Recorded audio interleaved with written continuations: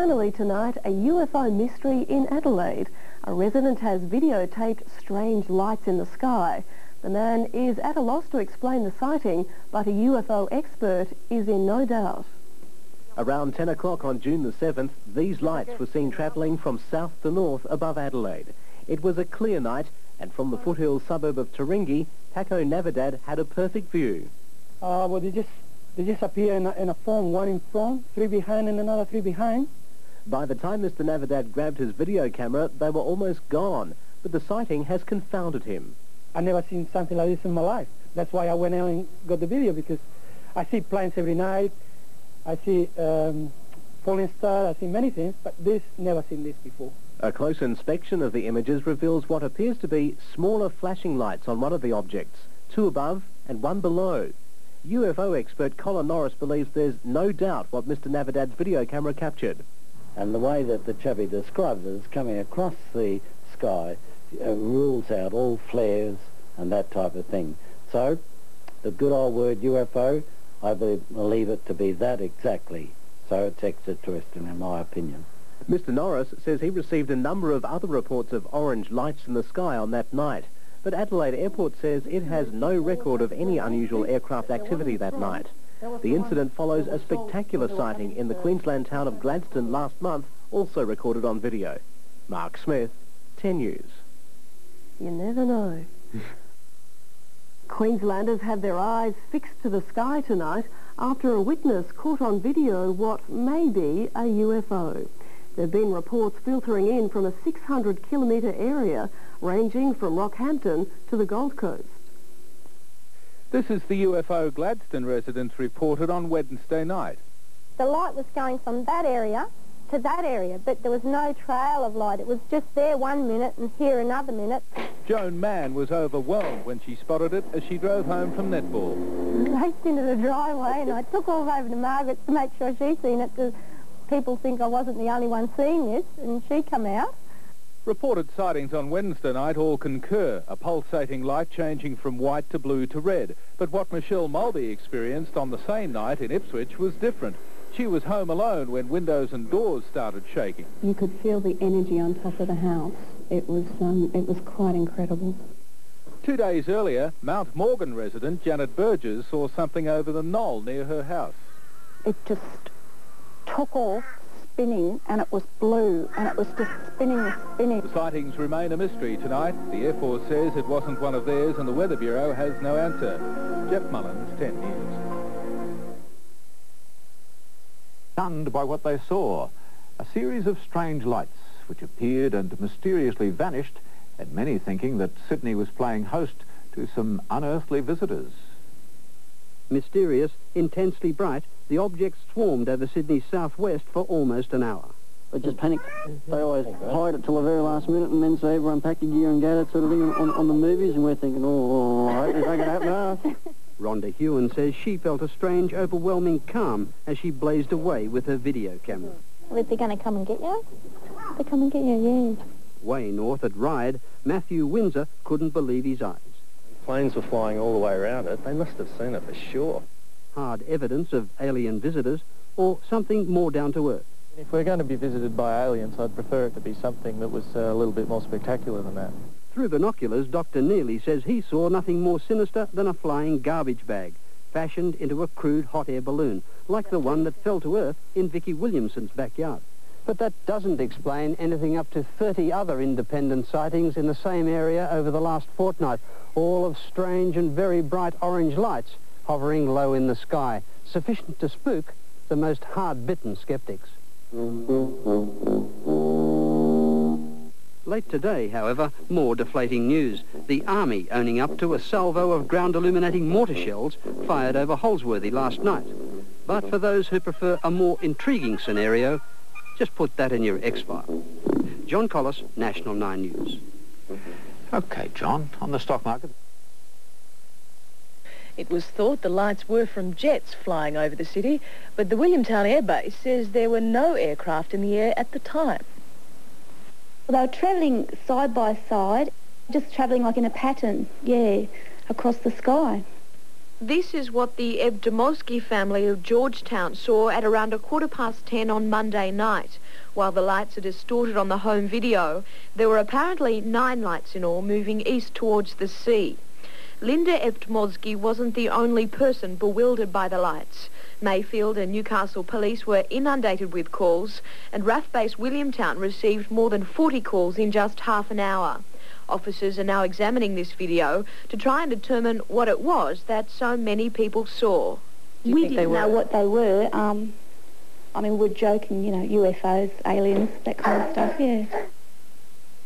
And late this afternoon, it was revealed that those mystery lights may be just a prank by university students. The locals at Wycliffe Well, 374 kilometres north of Alice Springs, have spent their nights looking at the heavens and lights, they say, are UFOs. An attempt to capture the lights on television cameras on Monday night proved unsuccessful. Experts claim the locals have been looking at the Star Striker. But Roadhouse owner Lou Farkas won't have a bar of that. He says what he and his staff see are lights that move around. Last night our cameras tried again, this time with success. There was a light, one bright white one and two others coloured red, and witnesses who couldn't believe their eyes. Well, you just don't know what to think. When it's gone, you think, well, I wonder if I did see it at all. RAAF personnel at Tindal Air Force Base are making no comment, saying all they know about the lights is what they see in the local media. But the local Alikarung people say they've known about the lights for many years. Jeff Mullins, 10 News. And still on all things strange and supernatural, Ron, you've been looking into your own mystery. Well, yeah, Juanita, we're asking questions like, is it possible that bunyips and yowies, even thylacines, still roam the Australian bush? There have been thousands of sightings, and at last two Australian researchers have documented many of those reports.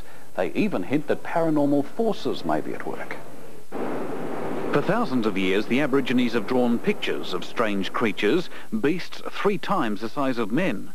And even since the arrival of the white man, there have been thousands of sightings, and the images are surprisingly similar. According to authors Paul Cropper and Tony Healy, the legendary bunyip was commonly sighted in the early years of settlement. Reports tapered off um, radically around the turn of the century, about the time that the dams and weirs were being built across all the major river systems. So perhaps that's why they disappeared.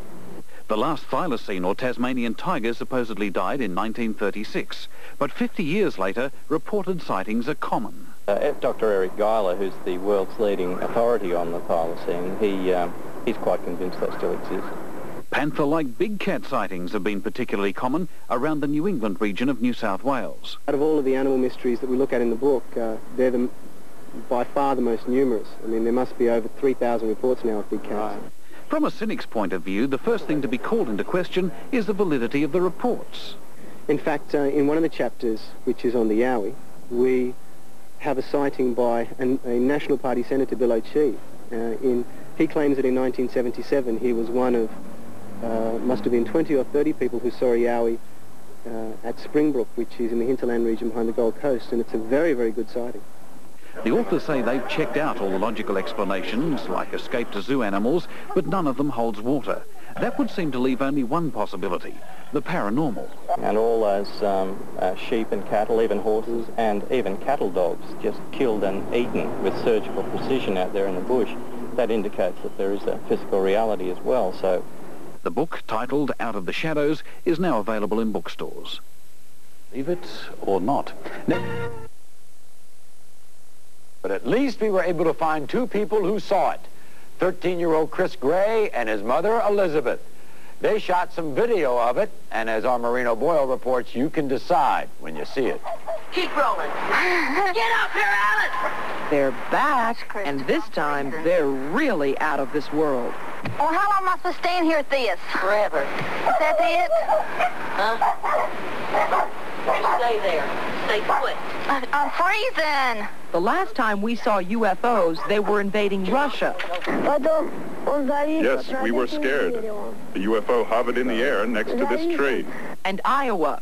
Seen this very thing happen in one of these spots in the 50s, and then again in the 70s, and again in 89. And Monroe, Louisiana. And that was for a split second when whatever it was went scurrying across the window sill. This time, it's West Virginia.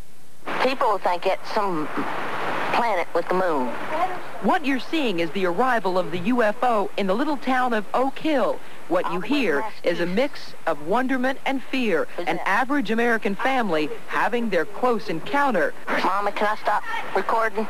But it didn't end there. The erratic UFO was seen by thousands of people up and down the East Coast, including the nation's capital. Sound familiar? Some experts say it was probably a meteor. A few said it was a helicopter. Now, stars do not separate. But all were afraid to alarm the populace. They saw red because the UFO changed from blue to orange to white, then vanished. And then the news called me. Now, if you think this thing was weird, imagine what they think of us. Mama, my neck's breaking. What happens if I said to you both, come on, it's your imagination? We would say no, we've seen it. Uh, Chris, you haven't dreamed about this uh, since it happened over the weekend, have you? No.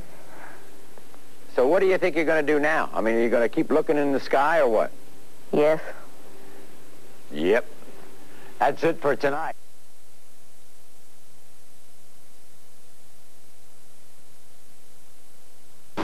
Welcome to Sightings. I'm Tim White. After many years of reviewing home video of supposed UFOs, it takes a lot to impress the Sightings investigative team. But what you're about to see is among the most intriguing UFO footage we've ever broadcast. A brilliant disc-shaped craft hovered over Salida, Colorado for more than an hour.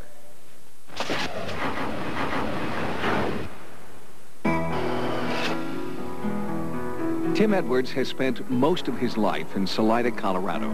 He runs the cafe his dad started 20 years ago. Tim's heard his whole life about fireballs, mutilated cattle, and UFO sightings in the valley. He never thought it would happen to him, but then it did. On the morning of August 27, 1995, Tim recorded this videotape. See it going? Do you see it? Approximately 9.30, me and my daughter Brandy came out here, and uh, she has said that she looked up in the sky to see if it was going to rain that day. If it was going to rain or lightning or something, we couldn't go camping, so I looked up and I saw it. I looked up again, and I see uh, a very intense, bright, shimmering white light. At times it appeared to be a boomerang shape, too, or a slight arc. Tim called his restaurant to see if anyone else had sighted the UFO. Cook Michael Maggio told him he'd take a look. Come out here, about right here, look beyond the door, and I could see the three flashes come off that looked like boomerangs, and it was bright white. Then a fourth witness, Tim's 15-year-old daughter, Lorraine, saw the UFO. At first, I thought those guys were crazy. I was like, that's dumb. And then when it started moving around, I was like, couldn't believe it. Michael Curta is MUFON's chief investigator in Colorado. He's been researching UFO activity in the San Luis Valley for several years. Mr. Edwards' uh, video is some of the best uh, footage that I've seen, um, purely for the fact that, number one, it's a daylight sighting. There are multiple witnesses. Um, it's a very large object, or appears to be a very large object, and we just don't get that many credible, good daylight sightings. Sightings asked Chip Peterson to study the Edwards videotape. Peterson is an aerospace engineer specializing in computer enhancement and stabilization. When you look at moving video, what you're actually seeing is 30 frames per second flipping on the screen very quickly, and that's what we've got right here. What you're seeing here is the edge of each frame that I had to stabilize by hand in order to keep this object in the center of the screen. So after you stabilize the image, you can see its motion much more clearly. Based on what I know of, of atmospheric flight, it doesn't look like any conventional aircraft. Could it be otherworldly technology? Yes, it could. Could it be military aircraft? Yes, it could. Could it be some unexplained weather phenomena? That's also possible. There's an awful lot of strange things that occur in the mysterious valley of Colorado, and this is racking up to be one of them. The San Luis Valley is 5,000 square miles of fertile Colorado pasture land, the largest, cleanest alpine meadow in the world. It's also a UFO hotspot. Recently, people here sighted huge fireballs streaking across the sky. Over on this mountain range, we've seen the orange orbs that come down and sit or just race right across the mountain range. This bright blue oval was traveling at the speed you one would expect a meteor, and, uh, and it stopped instantly and started straight down.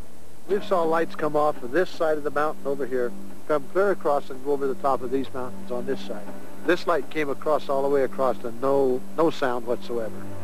For 10 years, researcher Chris O'Brien has studied more than 100 bizarre animal mutilations in the valley and their potential link to UFO activity. The activity that we experienced in November through January was quite incredible. We saw so much activity here. We had green fireballs, blue fireballs, squadrons of blinking lights traveling too fast to be conventional aircraft, and then soon on the heels of many of these sightings, we had incredible military activity. On January 12, 1994, the most spectacular UFO sighting to date occurred when an enormous arc of fiery orbs raced across the afternoon sky. Among the eyewitnesses was a retired 30-year Air Force veteran, pilot Jimmy Lloyd. They were extremely bright, uh, like strobes, a green color. There were seven of them in a semicircular formation. They looked as big as a battleship and, and, and very fast. They, were, they were going at hypersonic speed, yet there was no sound wave. Within hours of the sighting, it became clear that Colonel Lloyd was not the only one interested in the sighting. In nearby Monte Vista, Colorado, the local sheriff received a phone call from the North American Air Defense Command.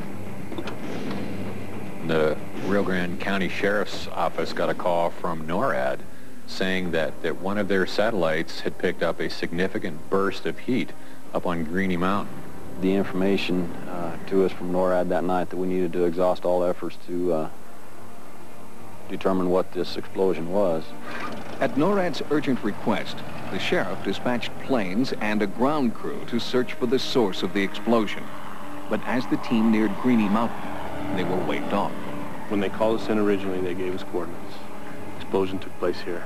So many degrees latitude, so many degrees longitude. Then we called them back and they said, well, it happened on these coordinates, which are completely different, probably 20 miles away, 15 miles away out of all time. Had NORAD really been off by more than 20 miles? Or did they want the search team out of the area? We did our extensive search and couldn't come up with anything. I called NORAD directly and uh, was in contact with a Major McCouch. He kind of blew it off. He said, if we can't find it, don't worry about it. If, you know, if we can't find it, it never happened. And that it was no more of our concern. In an effort to determine what really happened, Sightings asked aerospace analyst Ron Rieger to access satellite data collected in the area on the day in question. Rieger has concluded that there was a significant heat flash on January 12, 1994. I did talk with one of the analysts at work, and they confirmed both the event, the time, and the location, and added the comment that this did not appear to be a forest fire. The cause of the explosion recorded by NORAD and confirmed through satellite data remains a mystery, as do the many UFO sightings that continue to be recorded in the San Luis Valley. If the military has any answers, they're not telling. The lack of information is particularly disturbing to Tim Edwards, who has the dubious distinction of owning the best footage of one of the area's many UFOs. I've been obsessed, almost, my family thinks, uh, with uh, uh, trying to get the information, the facts out of, the, out of this case and the truth uh, uh, and getting this out to the public and bringing witnesses forward. One thing that sustains Tim Edwards and UFO researchers in the valley is the knowledge that UFO activity here is not just a cosmic flash in the pan. The local paper records sightings today just as it did more than 80 years ago. Back then, eyewitnesses asked one simple question. And it's the same question people are still asking. The selected tape is consistent with a number of reports sightings has received about UFOs in the four-state area of Colorado, Nevada, Arizona, and New Mexico. We're continuing to pursue these reports and will bring you extended coverage on an upcoming edition of Sightings.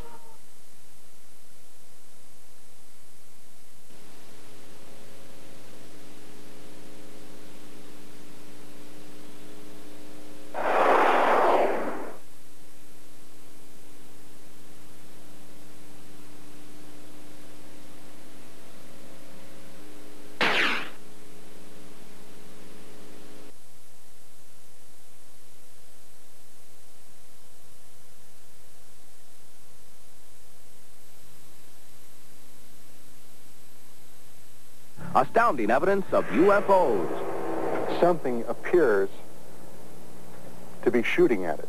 The real Star Wars tape. Something or someone is firing something at them. This is hard copy for Friday, June 5th, 19... the Earth. You think that sounds crazy? Know that the video is courtesy of none other than NASA. Doug Bruckner reports. It's the hottest tape on the American UFO circuit. Tape shot from the Space Shuttle Discovery, a white dot 200 miles above us. Some say it's proof of a UFO battle in orbit around Earth. I believe that's uh, 0428. Of course, our government says it's all balderdash, but it's enough to send the spirits of believers skyrocketing. We examined the videotape in our offices with hotshot UFO researcher Don Ecker. Ecker is a police detective in the Pacific Northwest who's now on the staff of UFO Magazine. Okay, here it is. You see it? Now watch it. Now as it gets up here, we'll make a right angle turn, shoot off into space, and something flashes past them. There. And whoosh. They're shooting stars. Shooting stars, my... That's no shooting star. That whatever that thing is took an evasive maneuver. There have been videotapes before, of course, but this simple footage is said to be much more convincing. Now, watch closely. There, beneath the shuttle, is planet Earth. Thunderstorms light up the night sky. But then something very curious happens. Watch this white dot. At first, it appears to be just a piece of space junk lost in orbit. Then it makes a right turn, accelerates, and appears to fly away. Run it back a little more. Okay, that's good. All right, now this thing is traveling this way. It suddenly makes a right angle turn and shoots into space. Right here. Now watch it. Now we're blowing this up. To see Right, watch it. There it goes, and here comes the shot. They say this shot is the most remarkable thing of all on the tape. It could appear that the object turned sharply to avoid this white streak, which flies by exactly where the object had been a moment before. Something appears to be shooting at it. Because it, it anticipates something where it flashes into space. There we go. And a split second later, something flashes past it. NASA's official version is that the object is a piece of ice from wastewater the shuttle dumped on a previous orbit. They have no comment on what appears to be a shot streaking past it, or on how it could turn and fly off in another direction. Why is that not a piece of ice? Well, did you ever see a piece of ice do this? Do what? Watch it. That's what I'm trying to tell you. It makes a right angle turn, it increases speed dramatically, and shoots into space. There it goes. The tape itself was shot by one of the astronauts aboard the Discovery and beamed down to Earth live. There's no way that the shuttle can make a right angle turn, shoot off into space. This apparently is displaying a propulsion system that is not manufactured in Detroit. Look again. This could be a UFO smoking gun or just pieces of ice and space garbage in orbit. The speculation is here that there are anomalous objects that are observed entering orbit and something or someone is firing something at them. I wonder what it's going to take before we all believe this. Well, I think a lot of people that have claimed to maybe see a little man on their dashboard are not carrying a full duffel bag, but gee, the right turn there on the NASA footage is tough to argue with. Pretty convincing.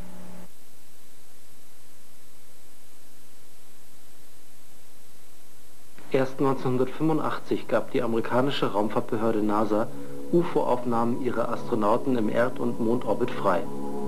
Diesen Film nahm Astronaut McDivitt 1965 von Bord der Gemini 4 auf, einen Tag bevor er dieses zylindrische UFO im Erdorbit fotografierte.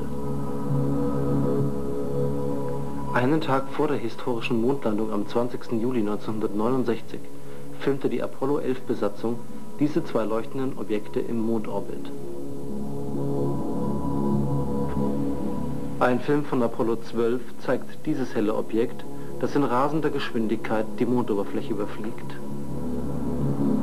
Vergrößern wir es, Analysieren wir seine Flugbahn. Hier schwebt eine kuppelförmige Scheibe neben dem Mond. Sie muss riesig sein. Und hier, so scheint es, ist ein UFO auf der Mondoberfläche gelandet. Vergrößern wir es, erkennen wir weitere Details. Benutzen Außerirdische unseren Erdtrabanten als Basis?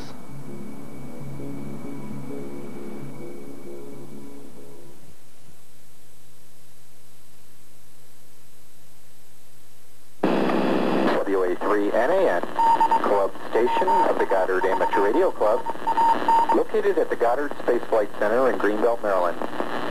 We are retransmitting the Space Shuttle Air-to-Ground Communications for Mission 20. This is WA3NAN.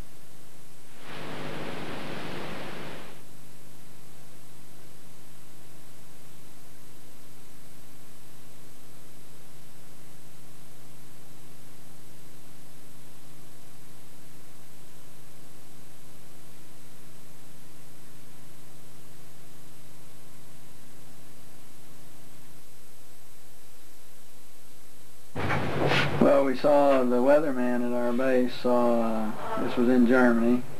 Uh, saw these uh, look like aircraft, very high altitude, flying over in formation, very much like we fly in fighter outfits. And uh, he was uh, tracking a weather balloon with binoculars and saw them, and it uh, looked like quite good altitude. And pretty soon, several other people on the base had binoculars and were looking at them. And and uh, but we could never even even getting airborne with our airplanes we could never even get close to them. They were well above where we were but they were very metallic looking and uh, double lenticular shaped flying in formations and going uh, primarily uh, from east to westerly direction. And uh, we never could determine what they really were or were not so Yes, I had a crew that was uh, filming an installation of a precision landing system we were installing out on the dry lake bed. And uh, they were there with still and movies and, uh, and filming the whole installation.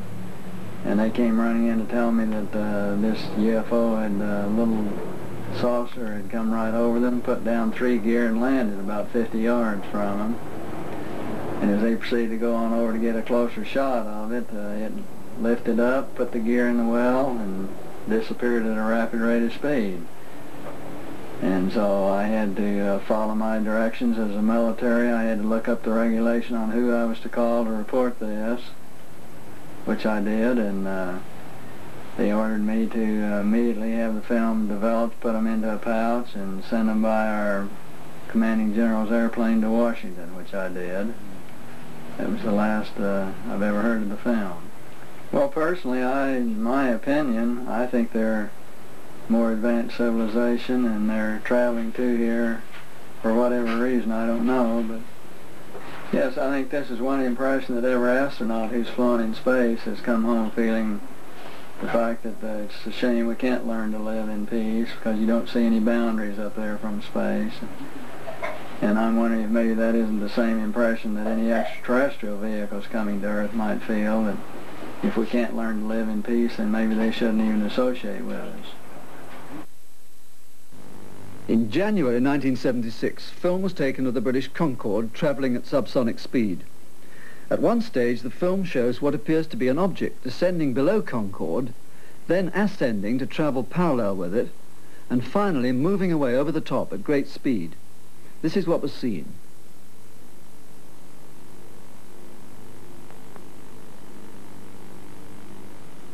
And here it is again in slow motion.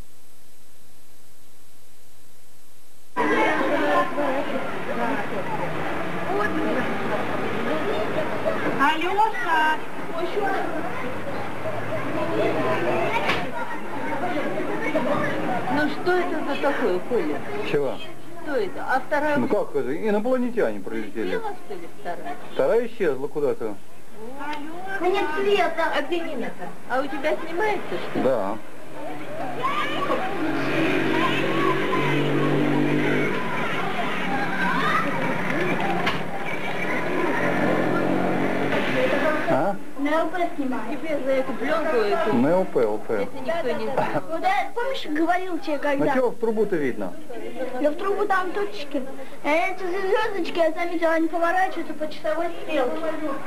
И ты больше это будешь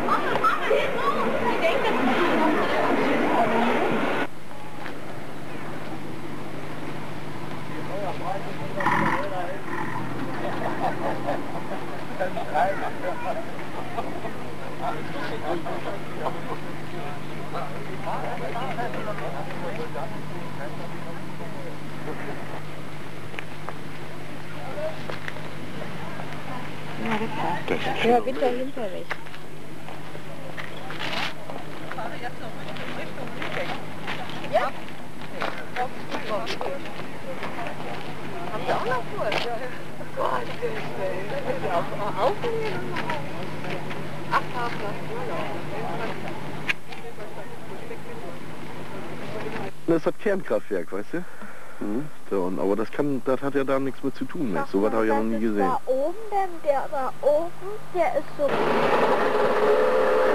ist Stunden runter. Kommt in, was sind das Luftballons, du?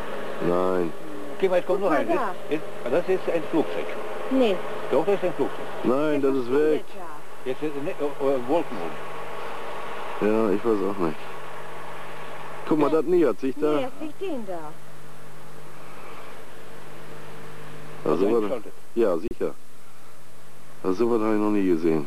Das erste Mal in meinem Leben. Auch jetzt zum ersten Mal. Also ich halte ja nichts von UFOs und so ein Quatsch, ne? Aber sowas habe ich echt noch nie gesehen, mein ganzes Leben nicht. So, ich geh mal, Ah, was war das denn? Explodiert. ich weiß nicht, was das ist.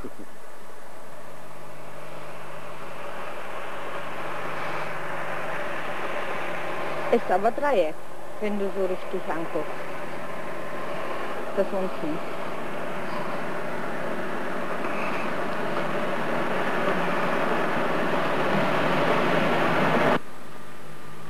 Und weg ist er jetzt. Ja, das hat Jetzt. nichts mehr mit Luftballon zu tun, nur. Ein Witwer. Ja, Die anderen verschwinden langsam auch. ne, Nee, ich das ist ja seltsam. Ich würde sagen, das sind Luftballons. Ne, genau, dann werden die mit einmal nicht weg. Ja, aber der, der macht das jetzt vorher aus, weil er, weil er nicht mehr hergehen will. Ne, genau, das kann ich mir nicht denken. er, er, er brennt das Die vorher. stehen ja, da oben stehen die ja auch, genau. Na, guck mal, siehst, der eine geht wieder weiter weg. Siehst? Hm, ja, na, ich weiß das wohl. Ich weiß ja nicht, wie das sein kann. Guck mal, jetzt, kommt der andere auch dicht daran. Jetzt, jetzt, jetzt sind sie fast in einer Reihe. Ja, kann aber kein Luftballon Nee. sein. ne, genau. Und UFOs auch nicht. Guck mal, Ne, ist, da, da kommt noch einer dazu. Guck mal, wie schnell, mit, Guck mal. was für eine Geschwindigkeit. Wie nur das. Ah, Das kann ja kein äh, Luftballon sein. als, Wie so eine Geschwindigkeit. Papa, als das hier wegging, habe ich es gesehen. Das ging so schnell, da konnte man gar nicht gucken. Ja, ja, ist gut so.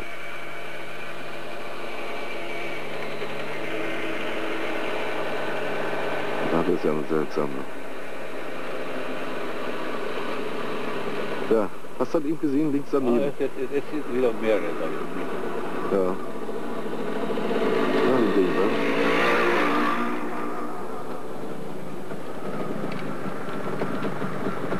Nee. Was ist das denn? Also hier in der Kamera kannst du ganz deutlich sehen. Da sind drei und da sind drei und da ist einer ganz oben. Nicht kann man nicht auf. Wisst ihr, was das ist? Nee, wir wollen es auch gern wissen. Ja. Vielleicht sind das so ein paar andere Leute, die uns besuchen wollen hier. ja, haben wir auch schon drüber nachgedacht. Das ist aber noch so interessiert, schon verglüht, ja? Ja, der ist weg. Alf. Ja, ob er verglüht ist oder ob er weg ist. Katzen rettet euch, wa? Ja. Tim, das ist ja seltsam. Immer näher ist. Ja, näher. Ja. Kann ich nicht sagen, na, Doch, doch. näher. Doch, die kommen ein bisschen näher. Habt ihr Ja. sowas schon mal beobachtet? Noch nie. Das erste Mal, dass wir sowas sehen. Ja? Könnte eine Raumstation sein. Ja, das sieht bald so aus, du. Ne, das müssen mehrere kleine, kleine Flugobjekte sein. Aber was für, was für Dinger, das weiß ich auch nicht.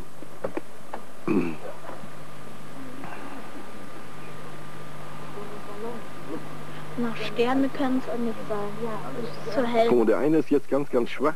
Ja. Ne? Du in der Kamera siehst das unheimlich gut. Ja?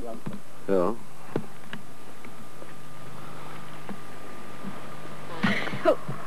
Oh, das ist eine. Hm, danke. Guck mal, wie die die verändern. Ja. Die sind aber ziemlich weit weg, Veno, weißt du das? Ja. Die ist gar nicht so dicht. Das ist das eine Sache. Ich meine Meinung nach Luftballons. Mensch, Luftballon. Luftballon. Nee, dann blieben die. Ich weiß jetzt nur Guck mal, jetzt kannst du nur noch vier Stück sehen, die anderen sind verschwunden. Guck mal, die verglühen. Die anderen. Die verglühen richtig, die sind, als wenn sie weg sind. Guck mal jetzt. Jetzt nur noch einer. Da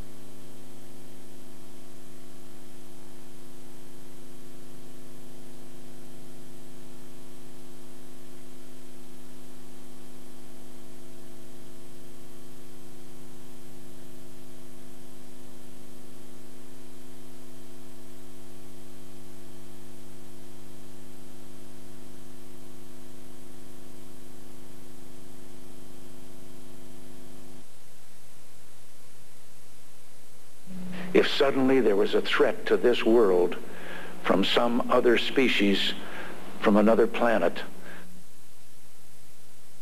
We often forget how much unites all the members of humanity. Perhaps we need some outside universal threat to make us recognize this common bound.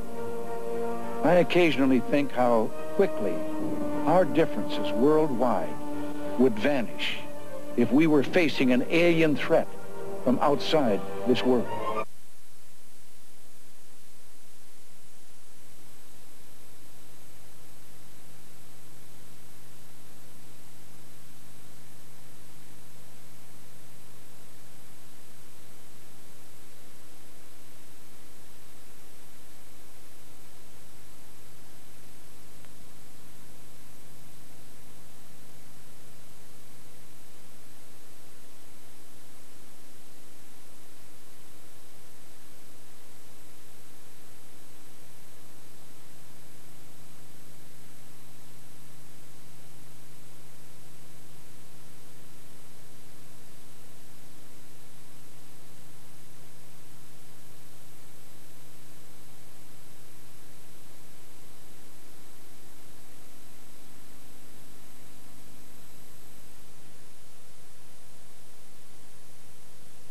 Por um cinegrafista amador que viajava do Rio de Janeiro para Vitória, no Espírito Santo. São quatro bolas, ó, dá pra ver quatro bolas. Veja bem, o objeto voador brilha muito e desaparece.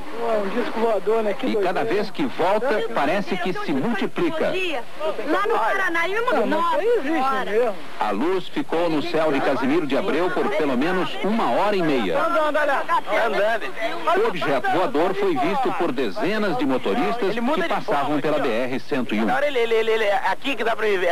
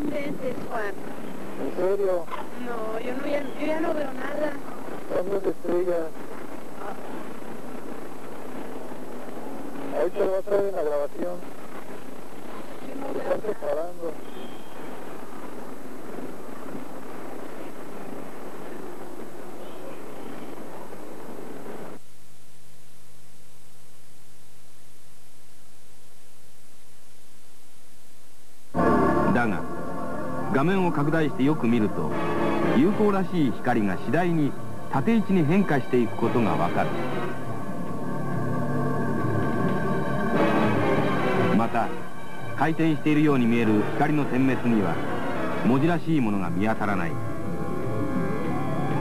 そしてこの光体は一旦消えて次には別な場所に現れるという奇妙な動きをしていることもわかる。これらのことから見てどうも小型飛行機のイルミネーションとは考えられないのだ。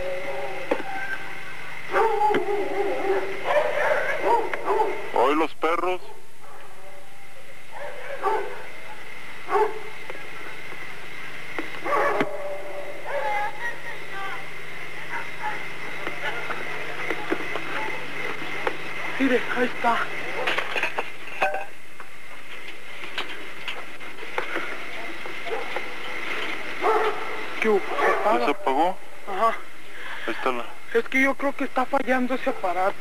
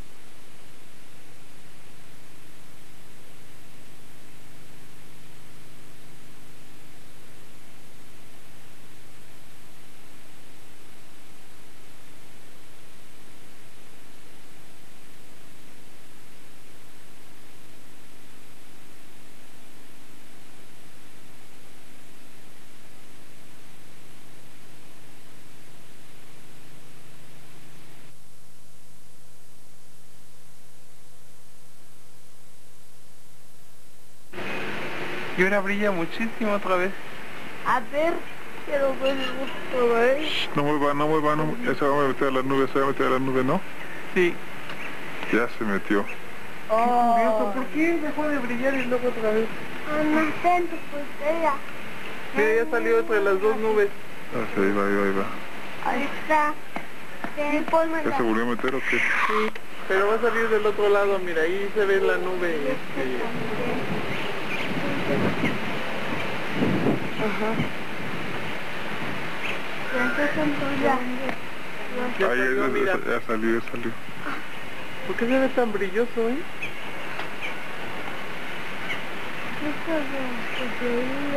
Ah, sí que lo Ya se metió otra vez, ¿no? Ya Ahí está, vi ahí. ya se metió. Mira, como que se mete y sale, mira, está ahí por ahí.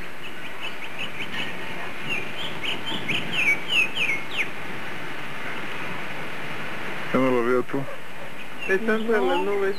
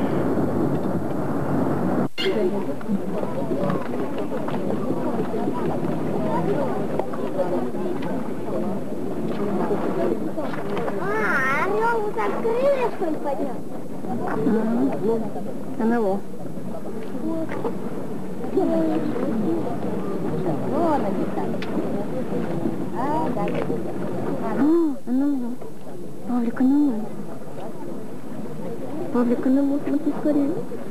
Olha para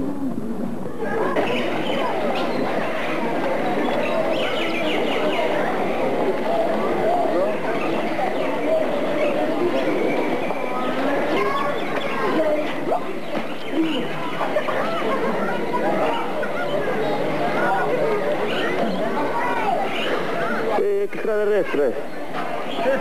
Una, una sola vez. Su? Dove su? Astronave, astronave, Another one, another one. Good.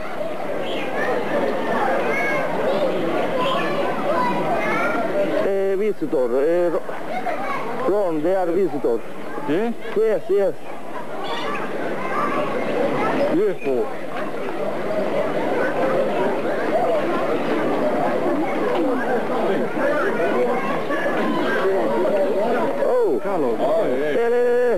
Eh, eh, fast, fast,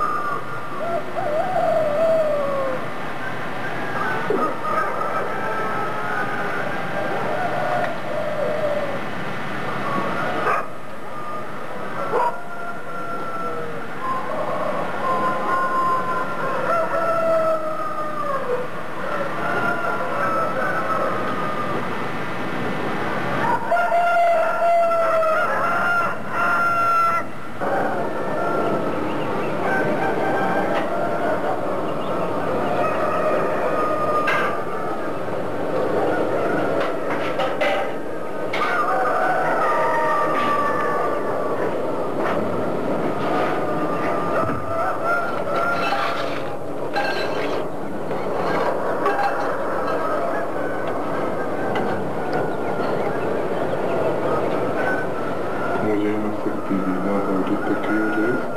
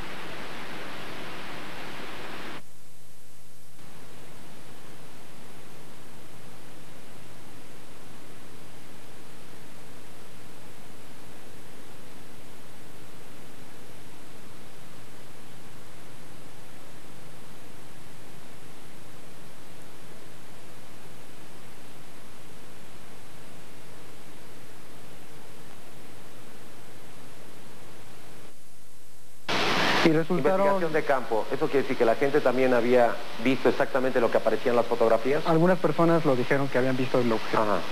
Y dentro de lo que fue la investigación del laboratorio se analizaron los negativos de las fotografías y varios videos de los que, de los que En esta investigación del laboratorio se podía verificar si esto era truqueado, era fácil, era sencillo, pues o es yo- muy complejo y tan difícil que a lo mejor podían ser truca- eh, truqueados. Bueno, la verdad es que en todos los análisis que nosotros hicimos no encontramos cortes que de, o sobreposición sobre, sobre el video. Y, y me gustaría también, en un momento más vamos a presentar para que analice el espectro que se desprende alrededor del objeto.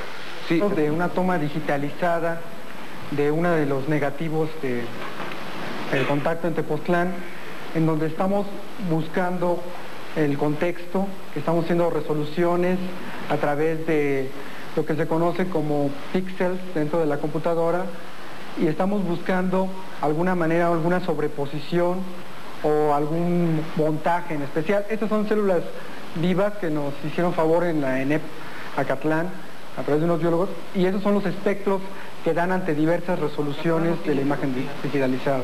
esta es la nave. Esta es la nave y el espectros de la nave. Si, usted- si ustedes pueden falsificar algo así, si alguien puede falsificar, yo lo invito a que trate de hacerlo. Aquí vemos la célula y vemos, estamos ha- haciendo comparaciones de color, estamos dando aplicaciones, estamos tratando de quitar los marcos o las áreas de- que cubren al, al objeto para tratar de ver el contorno y tratar de ver si era una, una fotografía o un montaje.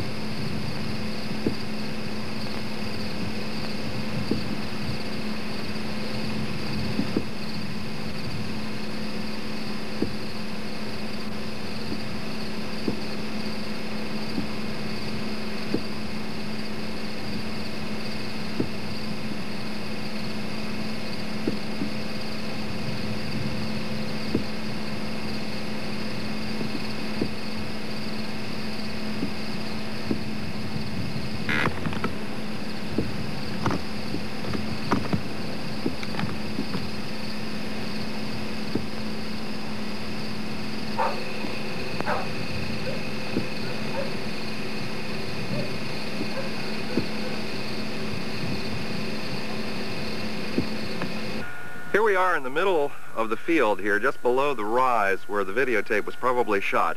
I think this might have been close to the closest point that he got. And just to show you the dense foliage growth here in the rest of the field, as you can see, this is all waist high here. Now the site itself is back over right in that area there, to the edge of the tree line there over those pile of rocks on the other side of that fence. There's a live tree just to the left of that area. That seems to be the site. And the video was probably, most probably taken from up on this ridge, right up in here somewhere. I think he probably came from those trees, that tree line over there.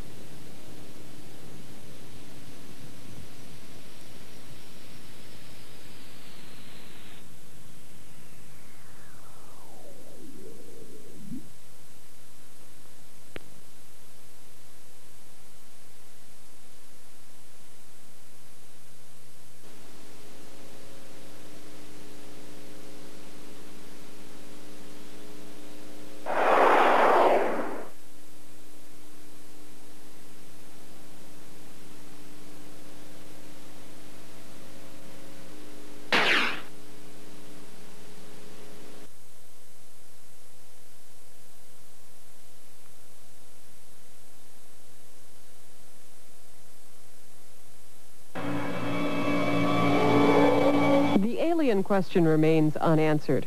So far, we don't have any widely recognized proof of any other life forms visiting Earth. The scientists believe that such a contact is still a long way off, while others say they are already here. And now, ladies and gentlemen, let me take you through two hours of UFO footage filmed all over the world. This is part two of UFOs, the films prove it.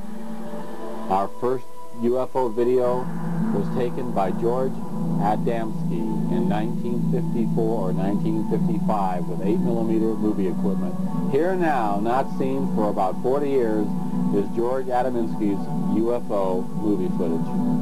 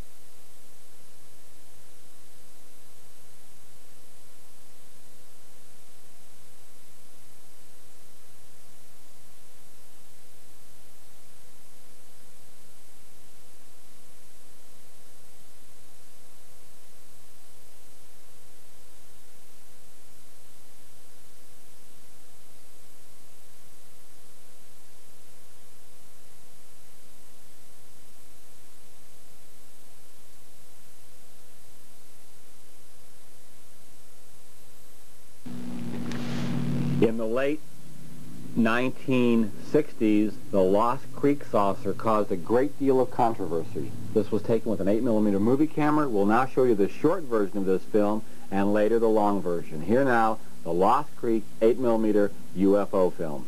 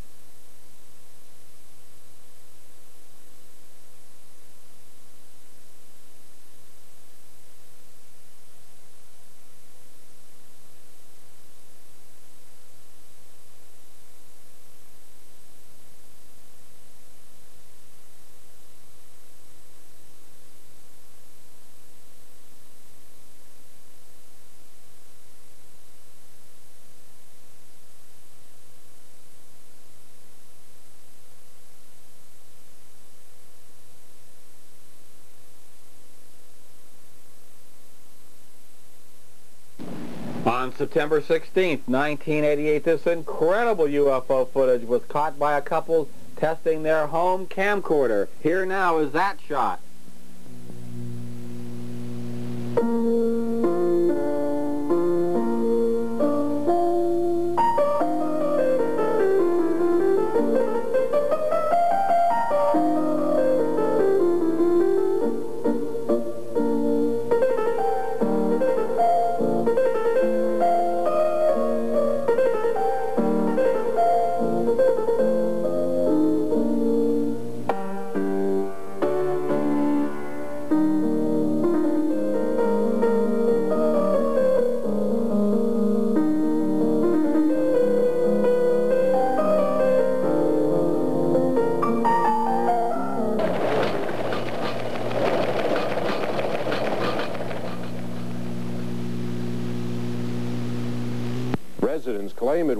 Spacecraft and it was captured on videotape by a high school student. Coincidentally, one of the TV stations aired a 90-minute special on UFOs uh, right after broadcasting this video. Well, we don't know what it is, and we're not going to come to any conclusions, right? Absolutely not. Okay. Well, anyway, how uh, getting down to earth once again? Let's take a look at our weather picture. Alrighty. Continued variable high. Estimated that one in 40 people have had contact with intelligent life forms that are not human. For the record, about a thousand cases have been investigated. Mike Frizzell is research director of the Enigma Project. It's a Baltimore-based group responsible for investigating claims of unexplained phenomena. He has documented about 300 cases of alien abduction worldwide. There are unquestionable similarities between the experiences. One is the description of the creatures. More often than not, uh, they are described as small, three to four foot tall, diminutive creatures with very large bulbous heads, uh, often very large insect-like eyes. Um, communication between the aliens, so-called aliens, is almost uh, invariably telepathic. Um, many, many percipients uh, view examples of technology that is obviously in advance of our own. For instance, doorways opening and closing, in which uh, the the door itself actually fuses seamlessly into the surrounding walls of the of the alien craft. There are other similarities. In many many cases, uh, the individuals are brought into a craft. Sometimes they claim they're floated into it. Sometimes they walk into it. Sometimes they just regain consciousness inside. But another one of the uh, items that shows up in the scenario uh, many times is this examination table, a long metallic or slab-like uh, reclining area where they are placed, and then they're usually surrounded by one, two, or more of these alien individuals and then subjected to some type of examination. Strangely enough, there are cases of sequential abduction, meaning the incident started happening when the person was a child and continue through adulthood, as in the case of Whitley Strieber. But in September of 1968, two UFO photos were taken, one a still and one a motion picture of a cigar-shaped object. Here now is the actual news program of that film and the film repeated a number of times. And I turned around for one last look at the general area where the power lines were running through. And there, sitting in the sky, was this huge cigar-shaped object, perfectly silent, almost as if it crept up on me. One minute it was not there, the next minute it just was. This is what Joe Ferrier saw, a huge object that he calls a mothership, carrying smaller, saucer-shaped craft like these.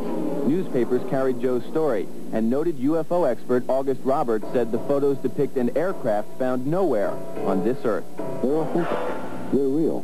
Whatever that thing is, it's up there, and the photographic experts agree. But what would the experts say about this? An 8mm film of an object similar to the one Joe photographed was taken by Harold Trudell, a former observer for the Civil Air Patrol. Harold's close encounter took place in a wooded area of Cumberland. Tell me what happened on that day in September in 1968. This is an area where basically there were UFO sightings in the area. And I was uh, sky watching as usual. Then this object appeared from my left, coming in from my left, which would have been the east, and heading west. I seen this object, and I immediately picked up my uh, camera and focused in on it. And it appeared uh, like a cigar shape, and it didn't, have, it didn't make any noise uh, of any kind. And the object that I seen on there, I feel very strongly that uh, uh, it doesn't come from uh, this world, because I've never seen anything that big. Perfectly silent, almost as if it crept up on me. One minute it was not there, the next minute it just was. This is what Joe Ferrier saw, a huge object that he calls a mothership, carrying smaller, saucer-shaped craft like these. Newspapers carried Joe's story, and noted UFO expert August Roberts said the photos depict an aircraft found nowhere on this Earth. millimeter film of an object similar to the one Joe photographed was taken by Harold Trudell, a former observer for the Civil Air Patrol. Harold's close encounter took place in a wooded area of Cumberland. Coming in from my left, which would have been the east, and heading west. I seen this object, and I immediately picked up my uh, camera and focused in on it. And it appeared uh, like a cigar shape, and it didn't, have, it didn't make any noise uh, of any kind. And the object that I've seen on there, I feel very strongly that uh, uh, it doesn't come from uh, this world. Because July 5th, 1989, the incredible UFO shot again over Japan was shown on television stations all over the world. Here now is the actual newscast of that July 5th, 1989 UFO videotaping on the outskirts of Tokyo, Japan. Happen to have a video camera handy, and here it comes. Authorities are calling it an unidentified flying object and say there were no weather balloons and no aircraft in the area. An unidentified flying object and say there were no weather balloons and no aircraft in the area. The strange object reportedly flashed red and blue lights while spinning like a top. Japanese authorities said no planes or other known flying objects were in the area of the UFO. The strange object reportedly flashed red and blue lights while spinning like a top. Japanese authorities said no planes or other known flying objects were in the area of the UFO. Reportedly flashed red and blue lights while spinning like a top. Japanese authorities said no planes or other known flying objects were in the area of the UFO. Video pictures of a UFO. It was not exactly a close encounter. The object was high over his house. The amateur cameraman says the UFO was spinning and flashing red and blue lights. Japanese officials say there were no planes or weather balloons in the area. Nobody knows what it was, where it came from. It was high over his house. The amateur cameraman says the UFO was spinning and flashing red and blue lights. Japanese officials say there were no planes or weather balloons in the area. Nobody knows what it was, where it came from, or where it went. Could be anything, though. This is the CBS Morning News, for sure, for Monday, July 10th. BBC has taken video.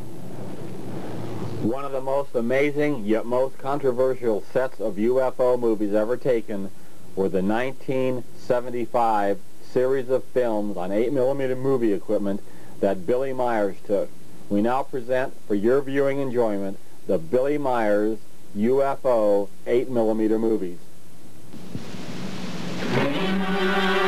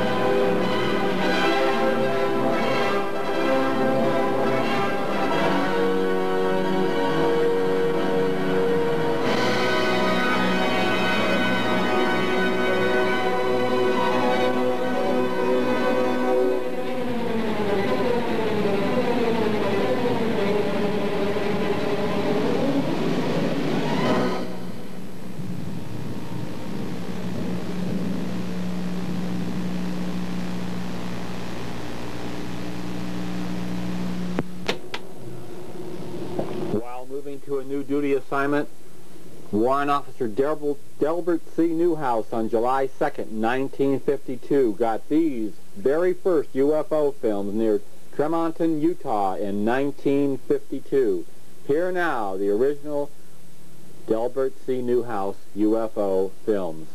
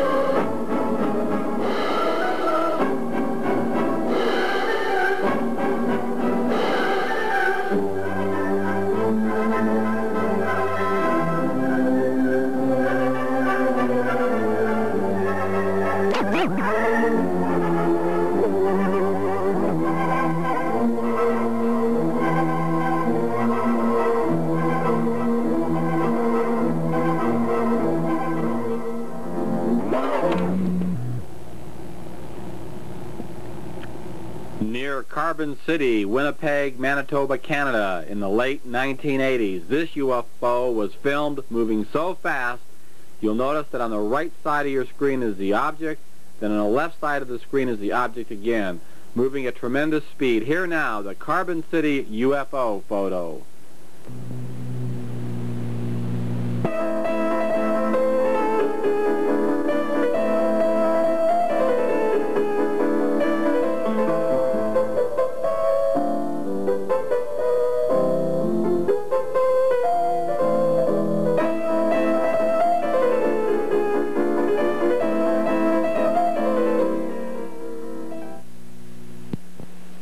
Motion, one-fourth the normal speed. Now here's another sighting of the same object, also witnessed by the whole town of Carman, Manitoba, who turned out for the incredible light show. Now, as we slow the film down, watch as the UFO jumps from the right side of the screen to the top of the screen and lights up the whole sky. The UFO is calculated to have been traveling faster than 30,000 miles an hour motion, one-fourth the normal speed. Now here's another sighting of the same object, also witnessed by the whole town of Carman, Manitoba, who turned out for the incredible light show. Now, as we slow the film down, watch as the UFO jumps from the right side of the screen to the top of the screen and lights up the whole sky. The UFO is calculated to have been traveling faster than 30,000 miles an hour, one-fourth the normal speed. Now here's another sighting of the same object, also witnessed by the whole town of Carman, Manitoba, who turned out for the incredible light show. Now, as we slow the film down, watch as the UFO jumps from the right side of the screen to the top of the screen and lights up the whole sky. The UFO is calculated to have been traveling faster than 30,000 miles an hour.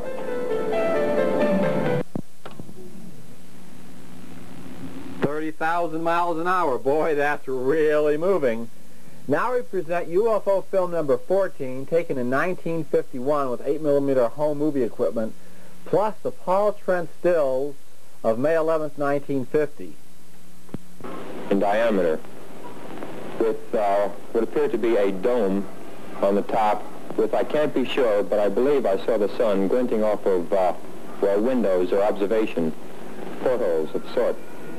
Is this what Weisberger saw? This disc was photographed by an Oregon farmer as it hovered low over his field.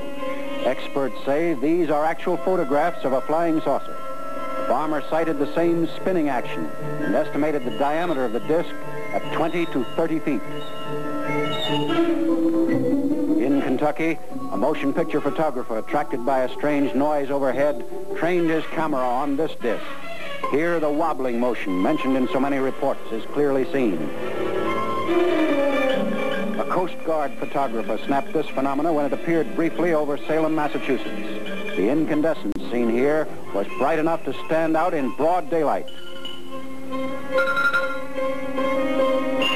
What may have been the same phenomena was photographed at night by August Roberts, who has this to say about it.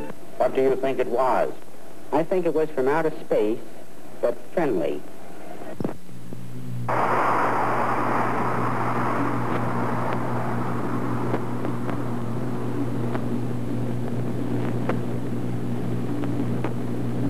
Others would see us from outer space. And according to some, they are definitely looking. December 31st, 1979, when Dave Fogarty was flying off the coast of New Zealand, he spotted this unidentified object.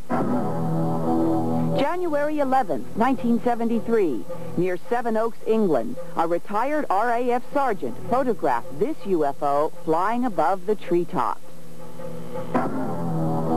Guatemala City, 1976. A film crew shooting a commercial captured this flying object, still classified as an unknown. In the western United States, this speeding UFO was tracked momentarily by an observer in a passing car. And on October 12, 1989, KSNF-TV shot this UFO as it lurked over northern Oklahoma for four nights. What was it? Gulf Breeze UFO film 21 from Gulf Breeze, Florida, photographed on nine, photographed in 1988. Here now is the original Gulf Breeze UFO videotape.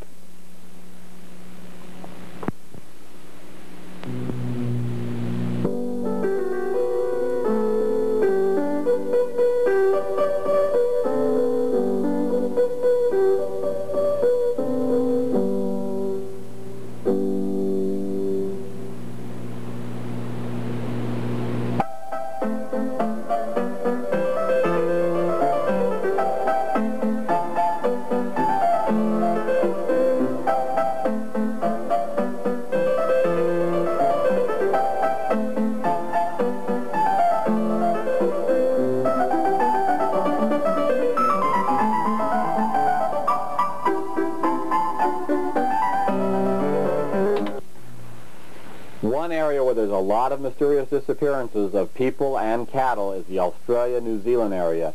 Here now, as mentioned earlier, is the official original news report of the original New Zealand UFO sightings taken on December 31st, 1979.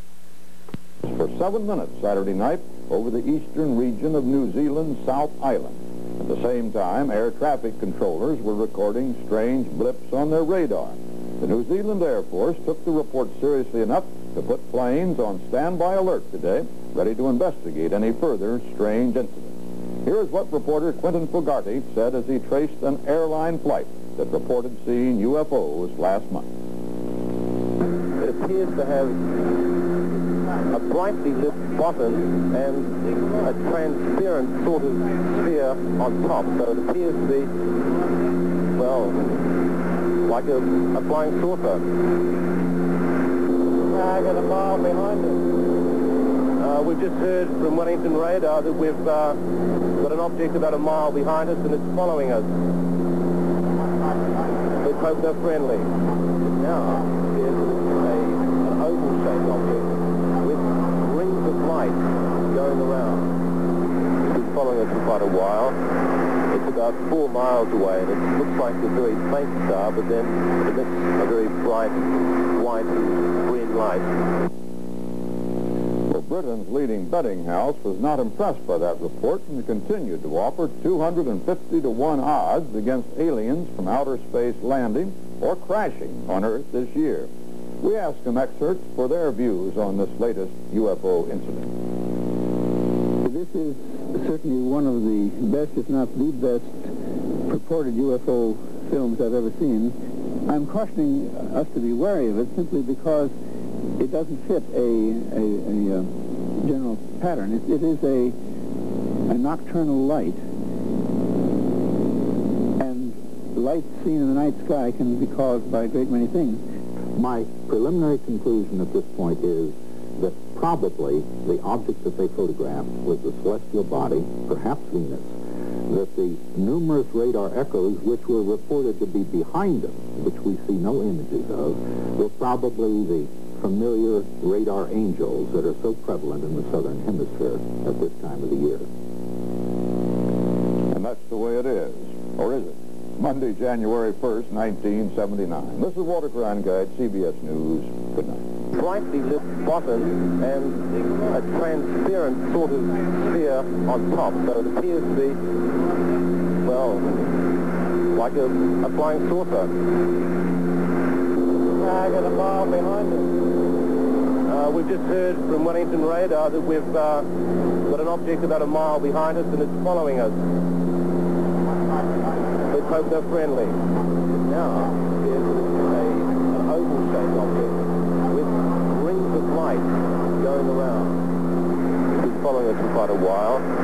It's about four miles away, and it looks like a very faint star, but then it emits a very bright white green light. Continuing on with the films of the UFO Video Clearinghouse, the Australian video that you're looking at now caused controversy all over the world because when it came out, there was also a disappearance of Frederick Valentich in a small private plane right around this time. And the air traffic controllers kept the radio cockpit to plane transcripts or conversations secret. Let me take you now to the Gina Jones video, which is very, very interesting. This was filmed in Eastside, uh, South Carolina, and it's believed it may be the first time a UFO alien was ever captured on videotape, possibly, we say. But we know there's definitely UFOs in this picture. Here now is that videotape. Down. There's something in her bathroom window. Look again and again. A tape you must see. The closest encounter. That's on our next edition of A Current Affair. Must see. The closest encounter. You're in a window and wow, some UFO controversy down south in Greenville, South Carolina. We'll be going there tonight. UFOs. We're just normal, down-to-earth people, and... Jones grabbed her video camera and began to shoot. But wait, what was that? No, not in the sky, in the Jones bathroom window. Watch it again. The figure in the window, captured by accident, has the Jones wondering and all of Greenville talking. Was it a visitor from the sky? good that she got a picture of it to prove her story, you know, to people that she wasn't just imagining what looked like maybe a check mark. And that's when the airplane had flown through. And you can notice in the videotape that right before the airplane flies through is when they're in the formation of a check. And as soon as the camera goes back to the light, they're, they're scattered. One of them disappeared. Then she shifted the camera, and the house came into view. And that was for a split second when whatever it was went scurrying across the window sill. Gina called the radio station. She had heard callers on my show um, talk about seeing lights over Greenville. So she called, not to go on the air. She just sort of wanted to compare notes with other callers. And she said, I saw these lights, but I have it on videotape. And it's not only these lights, but it's this little thing that crawls across the windowsill. We didn't notice that that was even in the in the film until we went inside and watched it on the television. It really scared us at first. It took several days before we could actually come to the conclusion that it actually looked, appeared to be like a little man of some sort. Some people who've seen the tape had other ideas, like the possibility that the figure is a monkey, a squirrel, or the Jones cat, Coco. It didn't take too long to logically figure out that it wasn't her for several different reasons. The size of whatever was in the window. Um, also the fact that she was here at the back door crying, come out, and I heard her standing right there. Or perhaps, just perhaps, it was only a Halloween prank. I do not think that it was a Halloween prank. We were right there and know for a fact that there was no one in our backyard. Whatever it was in their window that night, Gina and her husband weren't the only ones to see the mysterious lights over Greenville.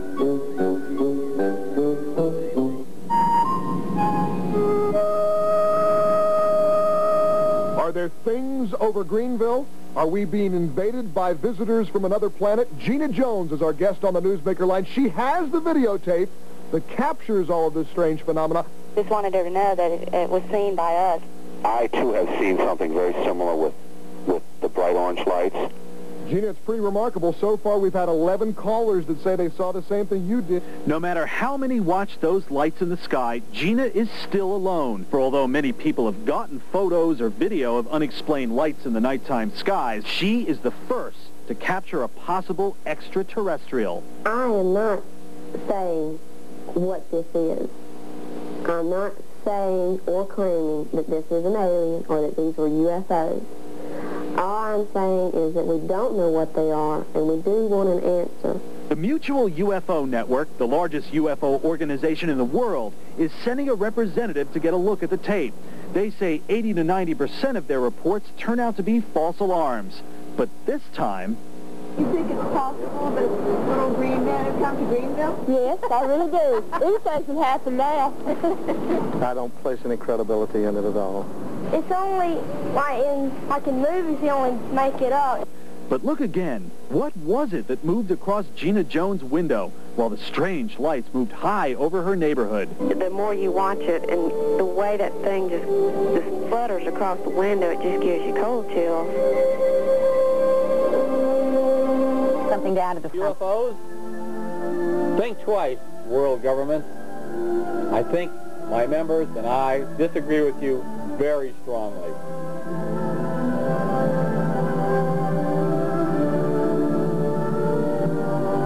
Now let's get back to UFO films on March 24th, 1989 in the Nevada, de Nevada desert. This UFO was not only taken, but it was also known in advance when it would be flying. Okay. Good luck. No, what? Did you see that move it did? No, I didn't. It went like I this. kept It on. went boom, boom. Wow, look how bright it's getting. Look at it now. Getting bright. Not bright enough for me to get the son of a Here, hold on, right here.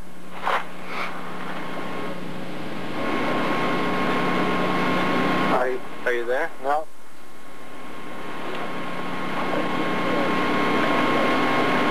It is bright right now. Admittedly, the tape proves very little by itself because with the distance and darkness, there are no reference points other than the alleged flying disc. But Lazar's information about the time and location of the test flights proved correct, not once, but twice. That, according to our off-camera interviews with each of the other witnesses.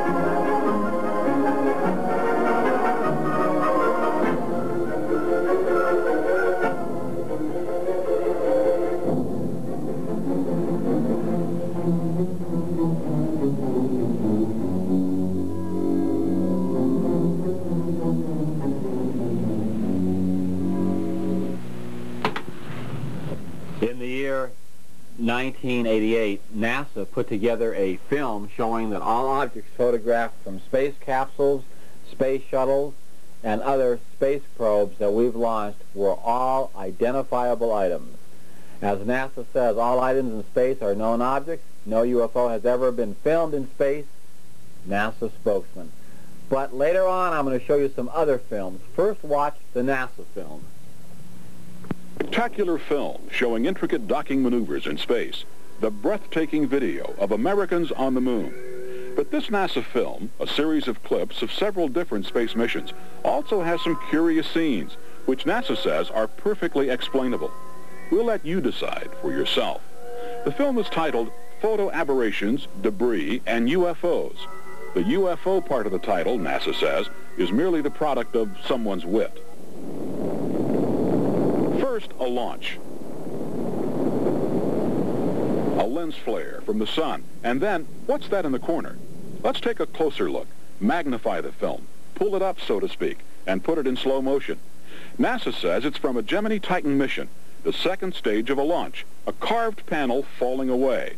Nothing more than moon pigeons, claim the space officials, a nickname the astronauts gave to space debris, junk, ice, reflections. Certainly most, as with earthly UFO observations, most can be explained. That isn't the right question, though. The question is, how about those that can't be? I think with regard to this footage, look only at those that give some indication of being more than a little tiny object, close, a piece of debris, if you will, mm-hmm. that might have a certain shape, that might have motion that would indicate intelligent control, for example, a starting and a stopping, or a changing of direction in response to something that's going on. Blobs in space, according to NASA. A spokesman adding, no film taken in space is classified. What about those bright lights? Once again, with advanced edit technology, we'll isolate those lights, magnify them, and take a closer look in slow motion. NASA says it could be insulation, ice, but that in this case, those lights are a reflection off the lunar module aboard Apollo 11. Anyone taking home movies knows mistakes, reflections can pop up for the non-professional photographer. And NASA claims it's the same in this case. What about this tiny light moving across the surface of the moon? in slow motion and pulled up. According to NASA, it's ice formed by leaking propellant as a lunar lander blasts off from the moon. And finally, is that a UFO hovering in orbit around the moon? As we take a closer look once again, NASA's explanation is that's Earth. It's one of those Earth rises we've seen from the moon, only this time it's from the backside of the moon, on the way home to Earth. Nothing there out of the ordinary. The NASA official who ordered it tells me it's to show all those far-fetched claims are so much baloney, as he puts it. Still, even the UFO debunkers, UFO researchers such as Phil Klass, hope there's something somewhere out there. Houston, uh, this is Discovery. We still have the alien spacecraft uh, under repellent. Houston, uh, this is Discovery. We still have the alien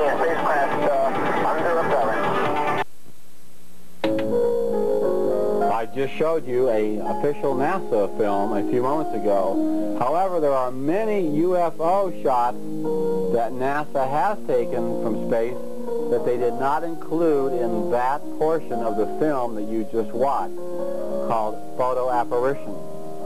Look now at this shot from Skylab, and you'll notice a number of excellent UFO stills that were taken. This one here is glowing red, which is interesting since in space there's no atmosphere and nothing can glow red. Photographed from Skylab. Later on, towards the end of this tape, we'll also, you, also be showing you some excellent UFO movie films that were taken from space that were also not included. Here's another very interesting shot of a double object or two UFOs pacing one of our space shuttle objects. Another UFO taken here shows in the distance a glowing white phosphorus type object pacing one of our spacecraft. As you can see when you look close, it might even be two UFOs. Yet, NASA refuses to comment on these particular... I'd like to move now again to the Lost Creek UFO and take a longer look at this. Many said it was fake, but it's very interesting. It's very similar to many other UFOs photographed all over the world. Here now, the long version of the Lost Creek UFO, photographed in Washington State on 8mm home movie film. Is out to take his first trial pictures with his new 8mm motion picture camera. He goes to his local airport to photograph the action of a commercial airliner making its landing. The airplane makes its approach, and following it comes the big surprise, a UFO. The UFO, exhibiting anti-gravity capabilities, follows the airliner right down to the surface of the Earth to its landing. The UFO is a bell-shaped type, which has been seen and photographed all over the world since the 1950s. From Australia to Western Europe to South Africa to Mount Palomar in California, where George Adamski made excellent still pictures, all with the same bell-shaped configuration with three spheres on the bottom. There are some very significant things about this UFO type. Under the bell-shaped hull are three spheres. It is these globes which, when excited by a high energy level, cause the UFO to become immune to gravity. At this point, the UFO begins to take on a glow. At a higher state of excitation, it is ready to move into its home dimension, a dimension which is not light years away, but right here, interpenetrating our reality. A significant amount of scientific research evidence now seems to confirm the amazing fact that UFOs such as this are interdimensional spacecraft. These same types of UFOs have been photographed, invisible to the human eye, by means of ultraviolet filters and have been found to be trailing our commercial airlines flights at 35,000 feet, just as this flight was tailed by a UFO right to its landing. This time, it was visible. We have presented evidence that many times commercial flights near a UFO have lost electrical control and their aircraft instrumentation. Pilots have confirmed this fact. Passengers have been injured as pilots have taken evasive action when surprised by a UFO which to them seemed to be on a collision course.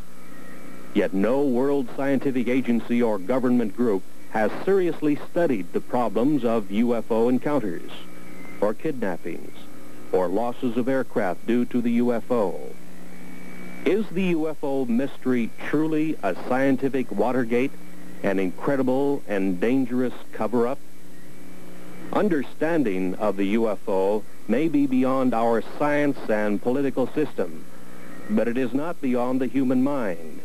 The alien intelligences of the UFO and the human earthlings are all common inhabitants of the cosmic energy intelligence continuum.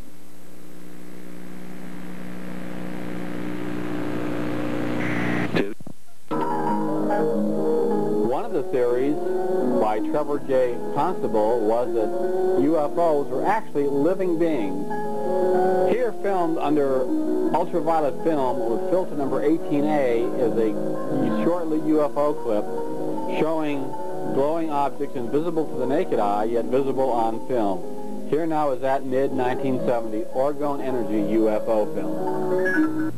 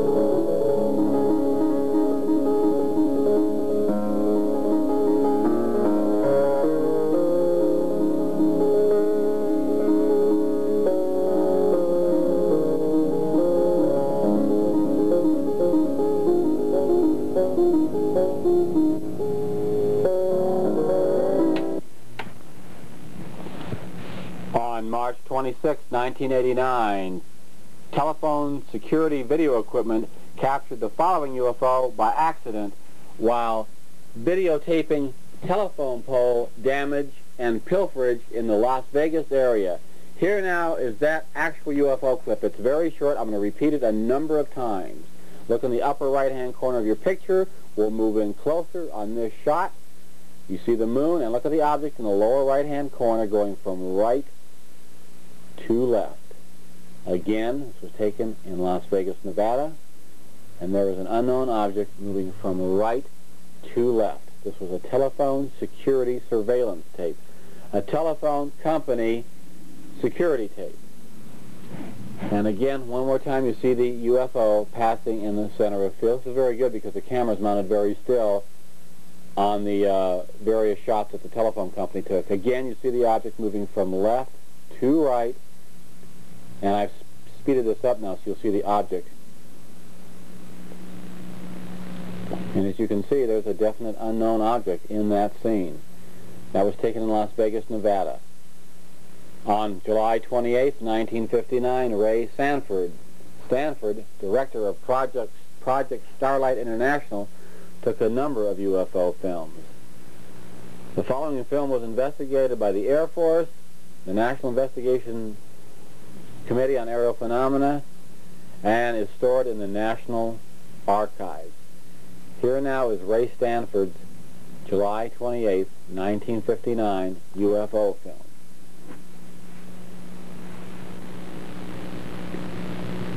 By the way, the listing on this is unknown.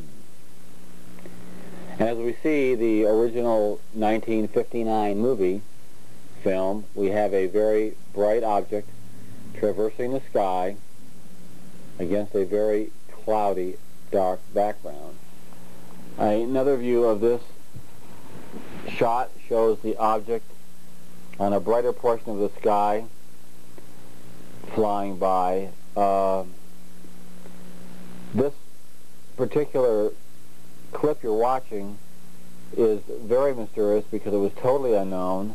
Uh, there's also a scene here where another air, an airplane shows up uh, emitting a vapor trail.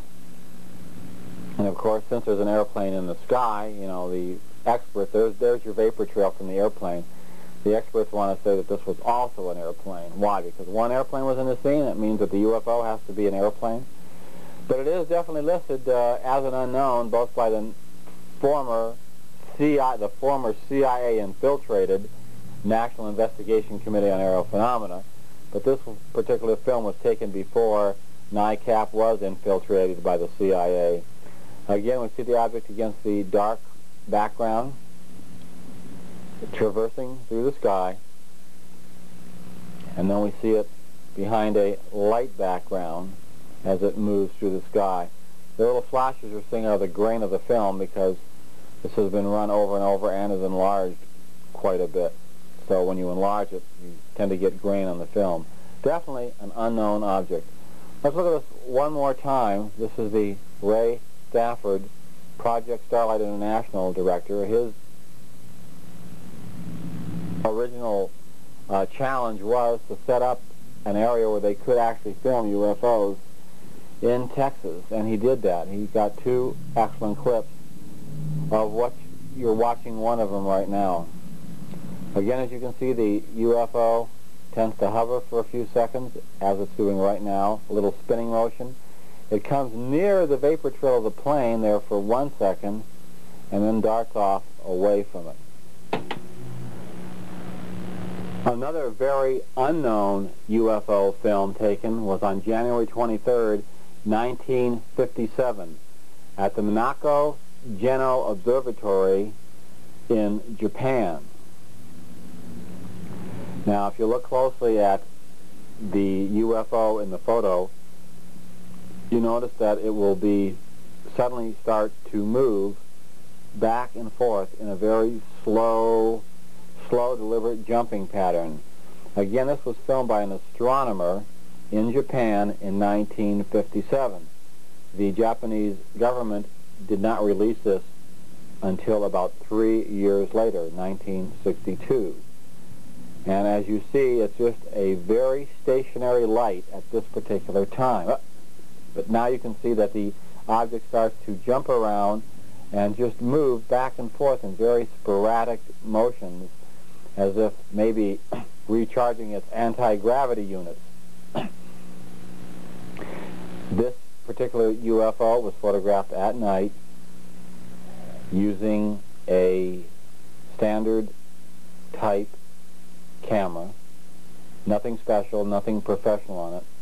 And as we see by watching the object, it tends to be jumping in just very small little motions across your screen or as it was originally taken across the sky. Once again, this is the 1957 Macau Geno and then it disappears and comes back on again. This was the 1957 Gene- Mac Macau Geno Observatory UFO photos taken in Japan in 1957. For those of you that may not be familiar with exactly what you're seeing, this may be a plasma field around the UFO. Now let's go to the original audio on the Tremonton, Utah films.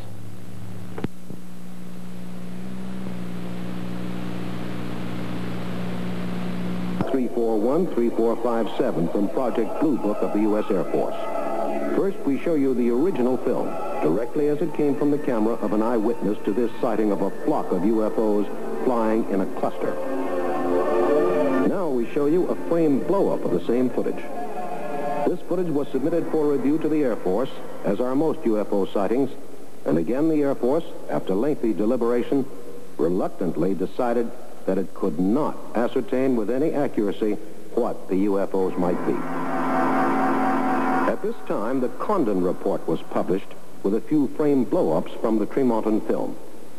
The Condon Report, which came out in the early 50s, was supposed to be the last word on UFOs as far as the Air Force and official Washington were concerned.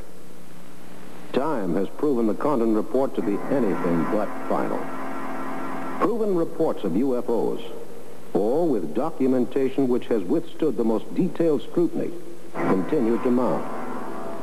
These five glowing discs seen in the Tremonton film, moving in a flight pattern in excess of 3,000 miles per hour, according to detailed frame analysis of the film, have defied any explanation as natural phenomena, which the Air Force has attempted to offer. Observers say that the discs gave off a slight humming sound, and that their flight pattern was consistent from right to left. The discs stopped momentarily and hovered from time to time.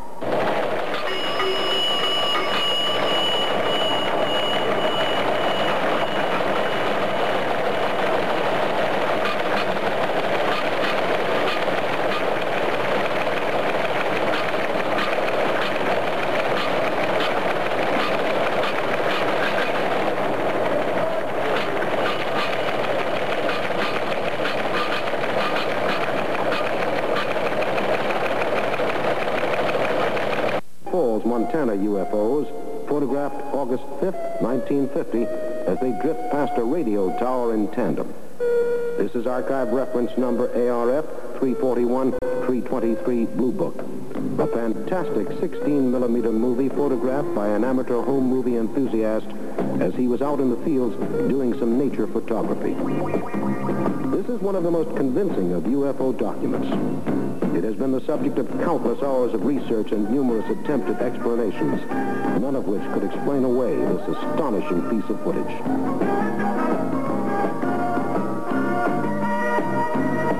This again is the Tremonton film, the better blow-up of it. This was photographed July 2nd, 1952, and archive reference number ARF 341 3477 Blue Book applies to it. Here the UFOs move in a cluster formation of larger numbers, shifting off into other patterns from the basic hook pattern, which has dominated so many UFO reports. Again, this sighting was accompanied by eyewitness reports and sworn testimony. A note should also be made here. that the government has more than 20 hours of actual sound recordings of UFOs in the National Archives in Washington, D.C. But they seem difficult to get hold of for some reason we could not discover. Here is another amazing piece of motion picture film photographed in Champaign, Illinois on June 7, 1960. This is archive reference number 341-554. Watch the UFO drift down from the top left-hand corner of the screen to the lower right-hand corner in this slowed-down version of the original sighting, blown up five times.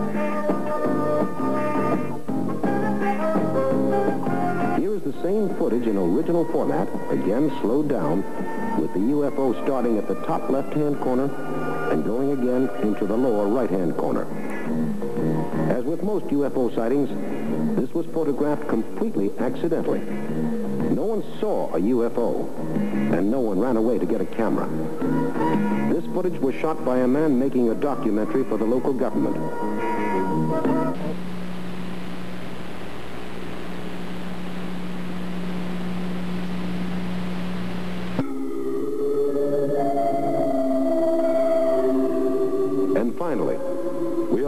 Astounding bit of film taken in Camarillo, California in January 1967. It involved an actor doing a close-up in a Western movie. We show you first the entire piece of film just as it came from the studio's cameras.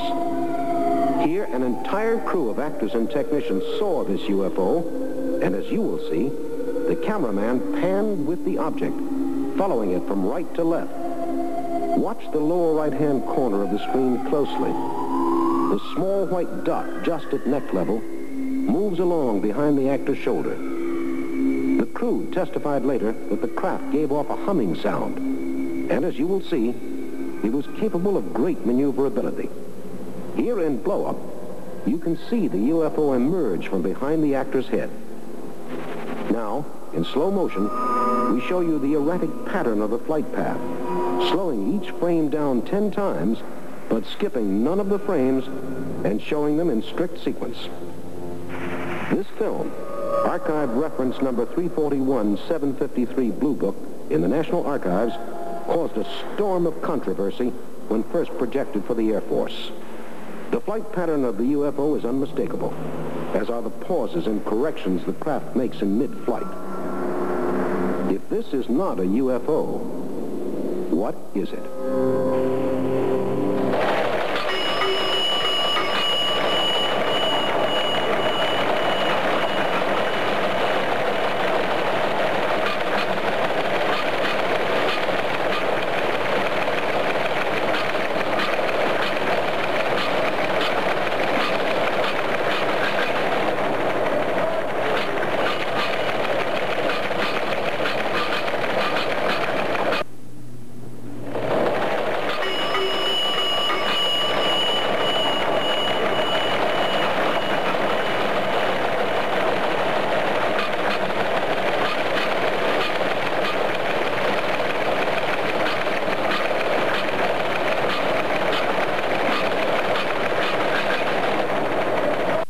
Hovering over Long Island in July. Shows an alien mothership hovering over Long Island in July. Alien mothership hovering over Long Island in July. Shows an alien mothership hovering over Long Island in July. Alien mothership hovering over Long Island in July.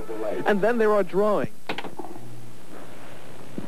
UFO film number 34 was taken in the early 1970s by Dr. Daniel Fry using 16 millimeter movie film and a 16 millimeter camera. The critics really panned this particular UFO, but under the test of time, it has stood up. Here now is the Daniel Fry UFO photographed in the early 70s. UFO photography is amazing. In the early 40s, people said, well, why doesn't somebody get a still photo of it? Why aren't they seen on radar? Later on in the 50s and 60s, people said, why don't people get movies of it? And of course now, in the 80s and 90s with home video, we're getting UFO shots constantly, as this videotape can attest to. The Daniel Fry film you're looking at on your screen now had gone extensive scrutiny and till this day it is still listed as unknown. As are many UFO films that were taken, called hoaxes without any investigation, and later has stood the test of time. The Daniel Fry photo film, as you're looking at, once again, has a spinning motion on it. And if you look carefully at this, you can see the disc spinning back and forth. Very slightly, but definitely hovering. And of course, what we've learned since the time this film was taken purports that UFOs do work on an anti-gravity principle, defying gravity on a wave and being able to float in the air by repelling gravity.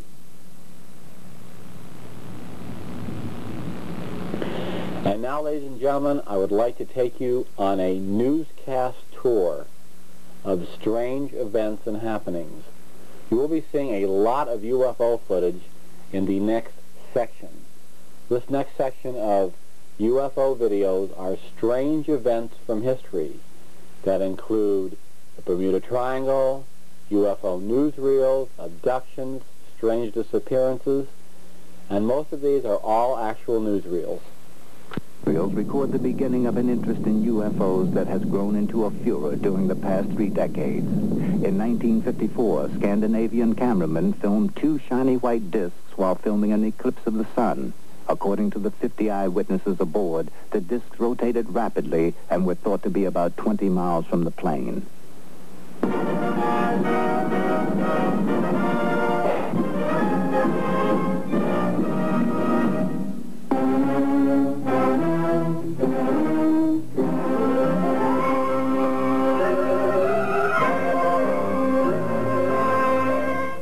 Sky is the stage, the actors so-called flying saucers. And they're back on the scene with some new twists. Rumors about the saucer mystery fly almost as fast as the strange sights themselves.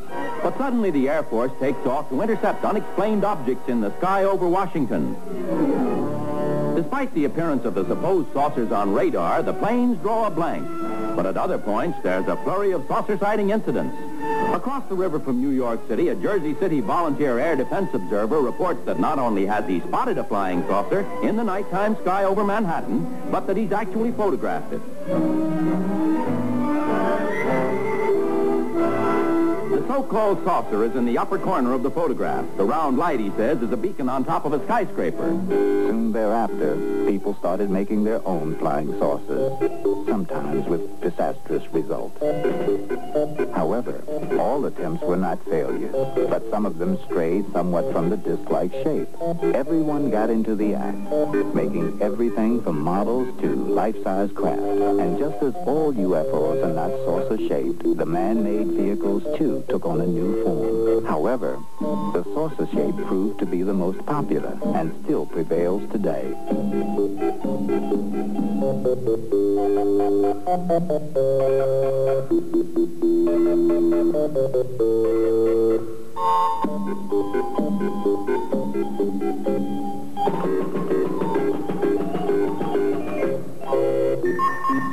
One of the most advanced saucer makers was a California professor who had a genuine urge to make them fly, and he's still at it. The astronauts of Skylab 2 were assigned to photograph the Nazca lines, now believed to be an ancient landing strip for extraterrestrial vehicles. This early newsreel shows the accidental discovery of these linear patterns that could only be deciphered from the air, patterns made by an ancient civilization that had no recorded access to flight. Winging south on a run-of-the-mill assignment, Movietone's Jack Kuhn cannot resist the beauty of Peru's Cordillera de los Andes. An impulse that wins one's gratitude for these glorious exposures on one of nature's most majestic efforts. Epics in grandeur, in the shadow of which men have struggled for nearly 28 centuries, and which must have impressed Pizarro and his conquistadores during their destruction of the Inca Empire. The fortunate chance of having his camera at the ready allowed Kuhn to make an historic discovery. Those markings on the ground are now baffling archaeologists. According to Dr. James Ford of New York's Museum of Natural History, there are two opinions among the experts. Some say they represent an attempt at astronomy by the ancients. Others opine they represent ceremonial roads. All that seems certain is that they are of pre-Inca origin. In June of 1908, an object weighing over 50,000 tons sped into the Earth's atmosphere and exploded in Siberia near the Yenisei River. At first, it was thought to be a meteorite, but the intense radiation and the absence of a crater proved conclusively that it was not. All evidence shows that it was an atomic explosion. Could it have been a UFO that blew up? Experts tell us that the UFOs are powered by electromagnetic energy or a form of atomic energy.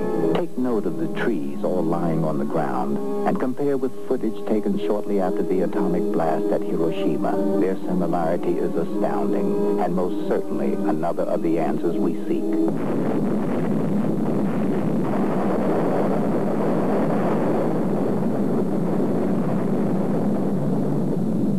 phenomena. First, uh, UFOs exist. The evidence is overwhelming that they do. Second, how these craft powered, how they're able to maneuver at tremendous speeds. This is what our aerospace engineers would like to have the answers to. The third question poses is where are they from? Are they extraterrestrial in origin, or is it some psychic phenomena or physical manifestation that present-day science doesn't understand? And the fourth question, what can we learn from the supposedly or assumed uh, people that pilot these craft. Evidently, they're more advanced than we are, uh, sociology-wise and scientific-wise. So we're set for that express purpose of answering those four basic questions through UFO scientific research. The first step is to contact the witnesses. We have nine sighting report forms. We'll go out and conduct an interview, uh, both uh, oral and also make tape recordings of the interview obtain all the necessary data. What did they see? As early as 1824, man has recorded strange round-shaped objects moving in front of and around the moon. The Lunar Orbiter 2 took photographs of the lunar surface from a distance of 23 miles. The results showed eight megalithic structures that indicate construction by intelligent beings. The structures are between 40 and 75 feet high and similar to an elongated pyramid in shape. Megaliths of heights reaching over 150 feet are discernible in photographs taken by the Soviet Luna 9. The two groups of objects are arranged in definite geometric patterns. In October of 1975, the news services reported a dust storm on the moon. Because the moon has no atmosphere, the only way this can occur is if something lands or takes off, as you can see in this official NASA film. Neither Russia nor the U.S. had any activity on the moon during this period. Who did? And on Friday, November 14, 1969, two brightly flashing crafts near the path of Apollo 12 were sighted by observatories all over Europe. Huge telescopes showed that one object appeared to be following the spacecraft and the other one seemed to be moving in front of it. Both were blinking off and on rapidly. It could very well be that the moon is an observation post for aliens who study life as we know it. Official NASA footage shows what appears to be a UFO passing by the moon's surface.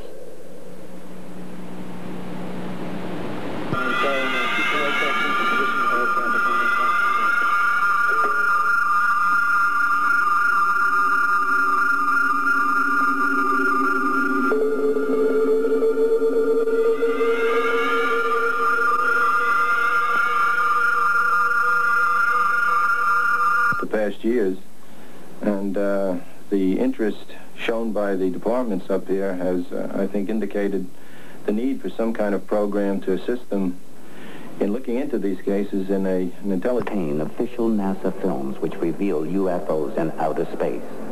Looking closely at the left-hand side of the screen, you can see the white sphere, presumably in a position for observation of Earth. Note that this clip shows two UFOs as they glide through space.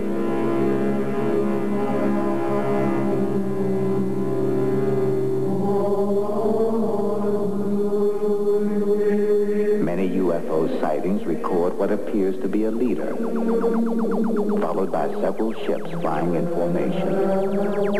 Astronaut James McDivitt photographed this UFO which he described as a beer can with a pencil stuck in the end of it. One of our researchers located this film in the NASA files. We felt it was so real that it looked man-made. However, no one at NASA could tell us what it was.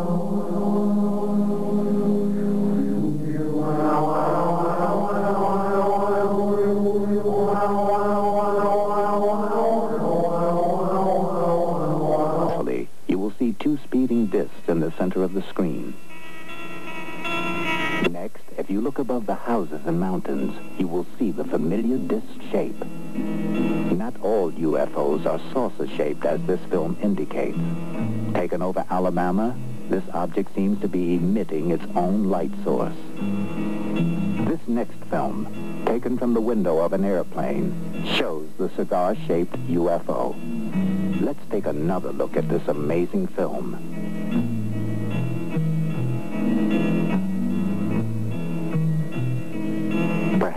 Best filmed evidence to date is this beautifully clear footage of a saucer-shaped UFO as it glides silently over mountaintops in the western United States. The proof is conclusive. UFOs are real, and they are not coming back in the year 2011 as many interpret from the ancient Peruvian gateway of the sun. They are here today.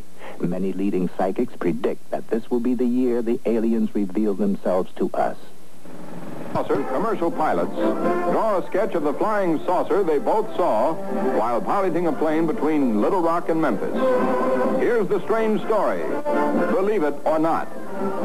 We uh, feel definitely that it was a controlled uh, controlled aircraft of some type. Uh, don't you think I, so? I think it had to be. Uh, what was the first thing that uh, that really drew your attention to uh, to it being probably a flying saucer, Jack? Well, uh, the uh, circular pattern of lights that were arranged under what I term the underneath side of the ship as it passed uh, uh, in front of us and across our path.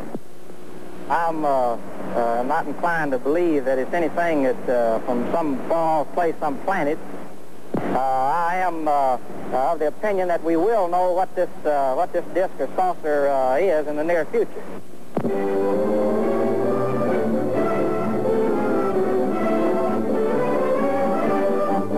Inflating an immense balloon aboard the USS Norton Sound, the Navy prepares for further study of the elusive cosmic rays somewhere in the Pacific.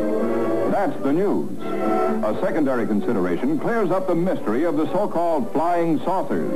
For it is these monsters which rise 19 miles and attain diameters of 100 feet that have been mistaken for the apparitions called flying saucers. At great altitudes, they tell us, these elongated enormities flatten out like plates. New UFO footage from the Audio Video Clearinghouse. After 40 years, it's still a mystery. What's going on? Well, first up, a number of months ago, a photo was released by a German documentary filmmaker claiming that this is an actual photo of an ET alien. Here now is that report from Entertainment Tonight.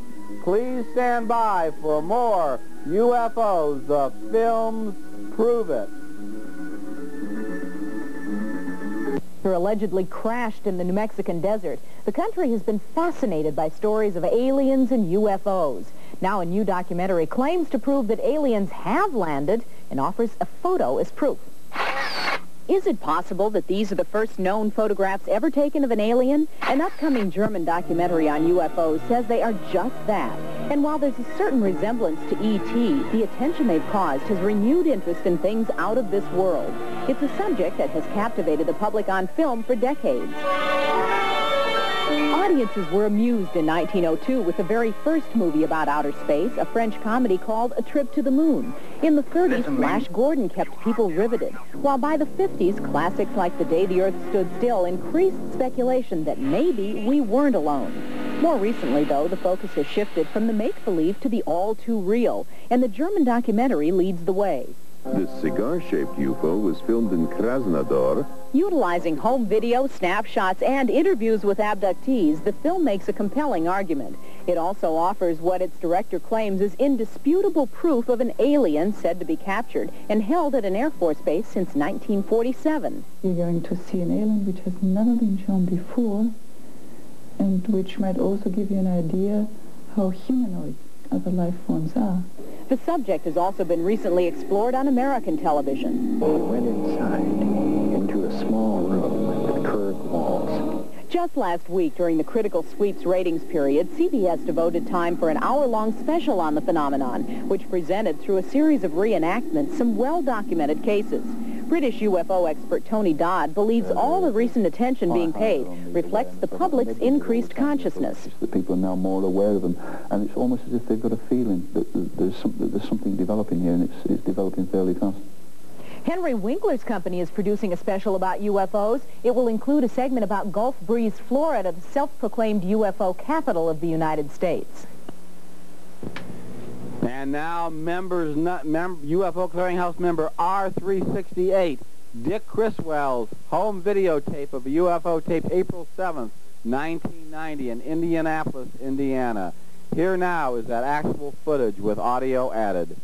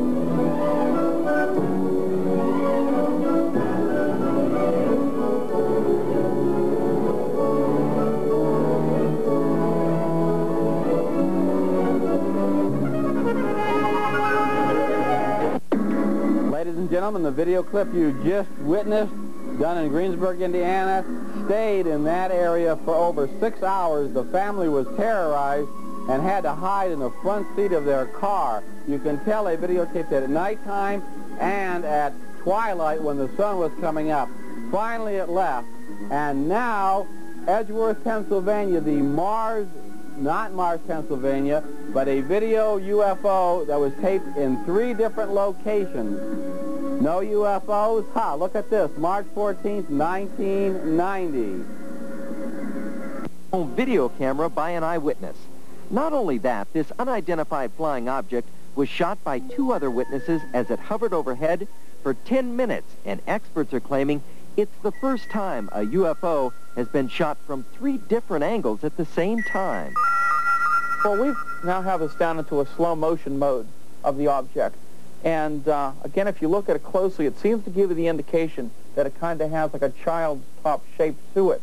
And I think you can see that it appears to be actually giving some type of rotation motion. In fact, the observers kind of indicated that he felt that it was actually moving or spinning. They may have come from outer space to visit Earth, but the Little Green Men haven't invaded Washington, D.C. or launched an attack on New York City. Instead, the Little Devils have picked a place that's out of this world an area that experts say is now a UFO hotspot. Welcome to Mars. Mars, Pennsylvania, that is. A UFO? Hillside north of Mars, Pennsylvania. Night after night, the same strange light kept appearing. Did you see where it originated from? It just, it, it, it always appeared right there, up above the trees. One time we saw it in the trees. But uh, it always comes in the same place anytime we've seen it from here. I don't know where it comes from. Cheryl Coover usually lives a quiet life here in the Pennsylvania countryside. But one March night, she and her friend Jane Woodcock saw a strange light in the sky. Then, not long after that, her young son Ryan found something unusual in the backyard. Nine dark rings in a long row. He said, we got UFOs up there. I said, yeah, and uh, you've been smoking what? he says, no, Mom, I swear to God. He says, I saw something, you know, he says, there's nine circles up there. He says, my hair's still on end. He says, it's really something strange. You've got to go look. Stan Gordon sent his field investigators out to inquire about the source of these strange circles. Evelyn Sherman and John Gribble spent all afternoon taking soil samples and measurements. But when the sun went down, they got a jolt of a lifetime. A flying saucer appeared overhead. My little heart was pounding. It was excitement. There was no fear or anything like that. But uh, it's something that I had dreamed about all of my life. It's like it's a flame and it's burning. Wow. But it's not blinking or anything like an airplane. Still. It's getting smaller. Yeah, that's what I mean. It's like a flame. It's like they're kicking on the afterburners or something. You know I mean? It may have been a dream come true.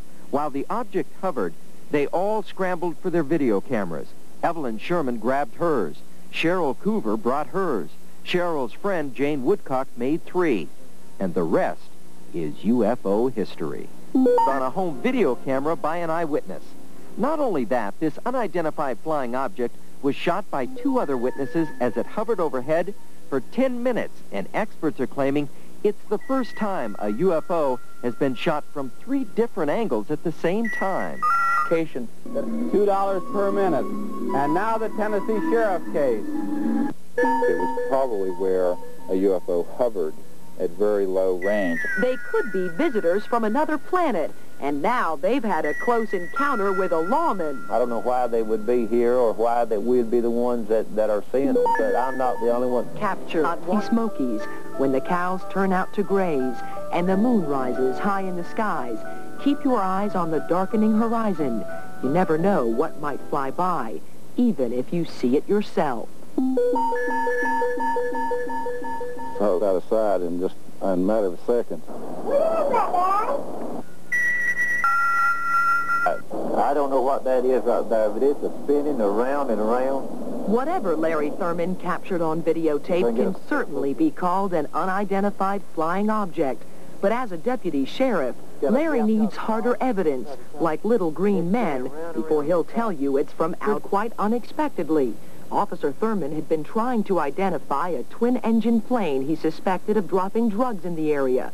Now he has a bigger case to crack, with more celestial evidence than one deputy can handle. Two months after Larry's sighting, an unexplained circle similar to those found in England appeared in a field on a neighbor's farm. We think in all likelihood it was probably where a UFO hovered at very low range, in other words, within 3 to 10 feet above that spot. I don't know why they would be here or why that we'd be the ones that, that are seeing them, you know. But if I was the only one seeing them, I'd go to some kind of a head doctor and find out what my problem was, but I'm not the only one seeing them, see. Larry's cosmic experience seems to have captured the attention of the U.S. government.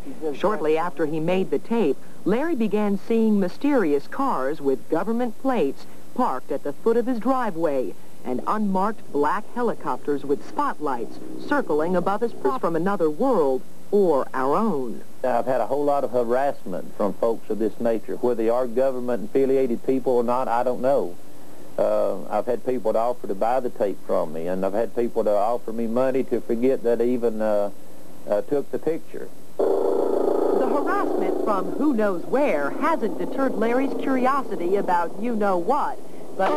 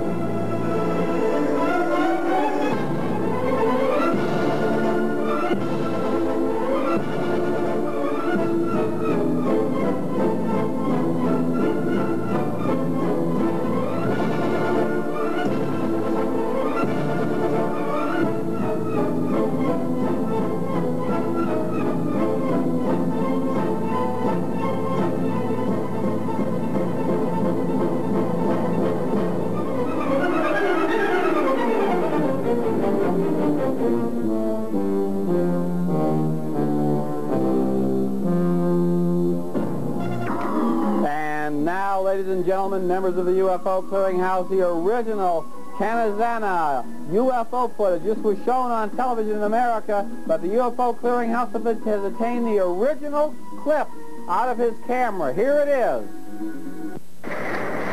Oliver,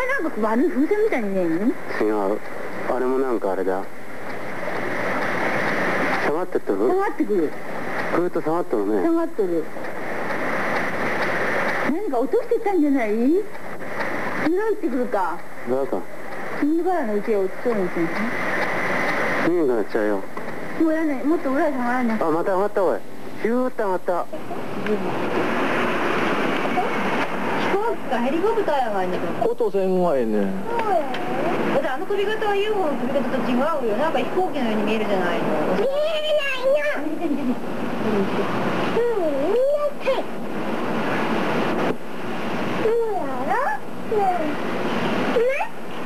ほら UFO, UFO やってあの格好 UFO やって。光ってるね。UFO やってあれ。本当に光ってるわ。ほら赤とね青の光出してる。お UFO やって。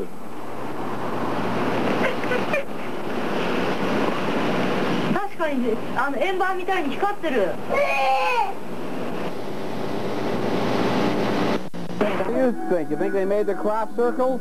And now, Russian propaganda no more. UFO stills from the Soviet Union.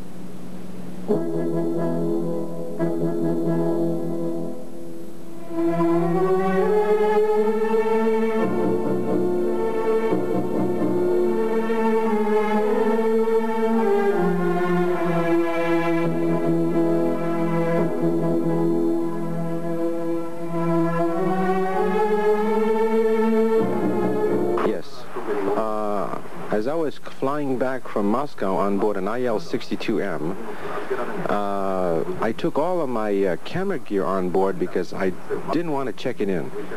So I had my battery and my heavy equipment, my video equipment on board the uh, the the plane. Uh, as the plane took off about an hour into the sky, I saw something red. I, I, I couldn't recognize what it is. I don't know what it is. It's it's moving, obviously. So let's see what we have seen on board this Russian aircraft. This is on board a typical Aeroflot plane, and as you can see, I'm looking through the window, and there is a, a, a little red dot. It's like as if something is coming from under us. Uh, I cannot say if whether it's on the ocean, but it is moving in unusual patterns. As I zoom up at 14 times, you can see some interesting shapes. But as I keep looking at it, the shape changes to an unusual shape. The plane, of course, is shaking, so this part, what you're seeing right now, it moving, is probably the video camera. Now, it's affixed right now, but then all of a sudden it changes shapes. If you notice, it comes flat, and then it comes in two, it turns into two, and then goes into one again. The stewardess. I asked the uh, stewardess about this, if whether she's seen anything like this. She says that uh, we are just passing Siberia and they're probably conducting some kind of a military test. I, I don't know what this could be. It's not a fire, but it is extremely bright. As I zoomed up at 14 times the power, that's an extremely powerful zoom. And I can't get the details on this, but interesting, interesting.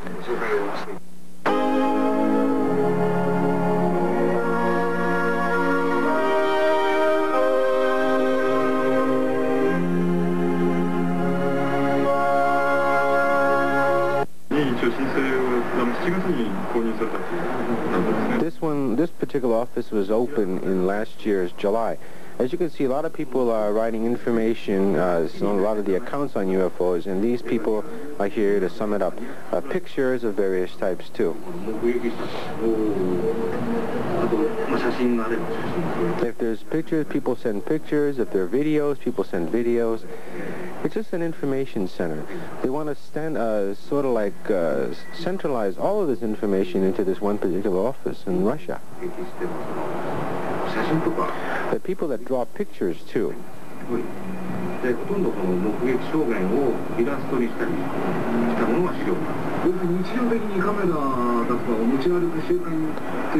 Does people carry cameras around now due to the uh, UFOs that are starting to appear?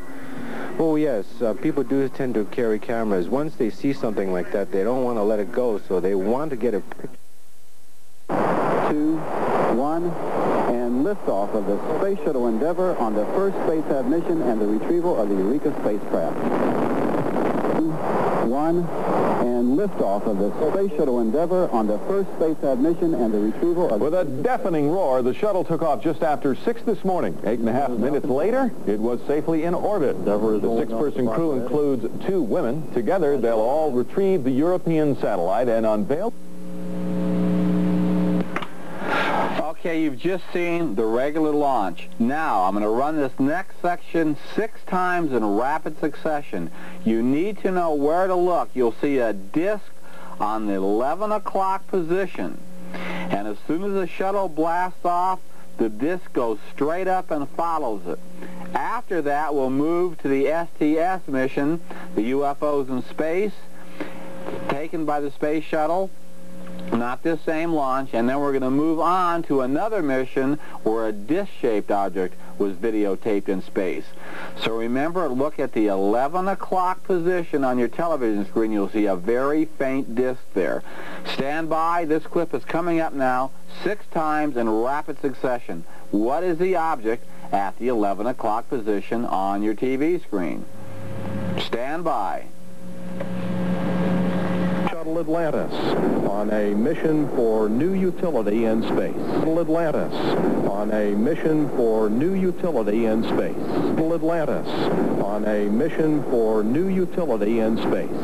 Space Shuttle Atlantis on a mission for new utility in space. Of the Space Shuttle Atlantis on a mission for new utility in space. Atlantis on a mission for new utility in space. Liftoff of the Space Shuttle Atlantis on a mission for new... Oh, stand by. When he saw an object activity in the late 70s, a photographer was shooting a car commercial when he saw an object in the sky. It is considered by many to be the first UFO picture taken by a video camera. And the picture he took looks remarkably similar to this flying something taken over Mexico City during the sightings of the second half of 1991. Unlike this country, the major networks and plenty of newsmen were reporting the stories of what they call the OVNIs. It was hard to ignore, with millions of people seeing them and hundreds recording them. The sightings were still going on in September of 1991, when an American space shuttle was on a mission. Back then, with a satellite dish, you could get the signals direct from NASA's Select TV channel. That's where these remarkable pictures came from. The first one looks like we've already developed Star Wars. Two events on this tape. We'll show you one at a time, as an object just magically appears, then moves near the horizon. We speed up the tape till there's a flash of light, and the object takes a hard right and takes off at warp speed, just in time to evade whatever that streak is. Here's the close-up, in slow motion. The shot and the evasion. Now watch the close-up of the right of the screen. Same time, another object is moving along the horizon, and it starts to move away as what looks like another shot is fired. Makes you wonder what President Reagan really had in mind when he talked about Star Wars. I've often wondered, what if all of us in the world discovered that we were threatened by an outer power from outer space, from another planet? Wouldn't we all of a sudden find that we didn't have any differences between us at all? Perhaps we need some outside universal threat. And look at this shot from the space shuttle. An object appears to be a target of two firings. There's one. And the second one hits it. But the astronaut stops the camera at that instant, possibly understanding that these pictures can be intercepted. I occasionally think how quickly our differences worldwide would vanish if we were facing an alien threat from outside this world. But I've often wondered, what if all of us in the world discovered that we were threatened by an outer power from outer space, from another planet? Same mission, different event. Ham radio operator Harry Jordan hears an astronaut say, what is that? What is that? Good question. And also on the same mission, this shot. Look fast in the upper left.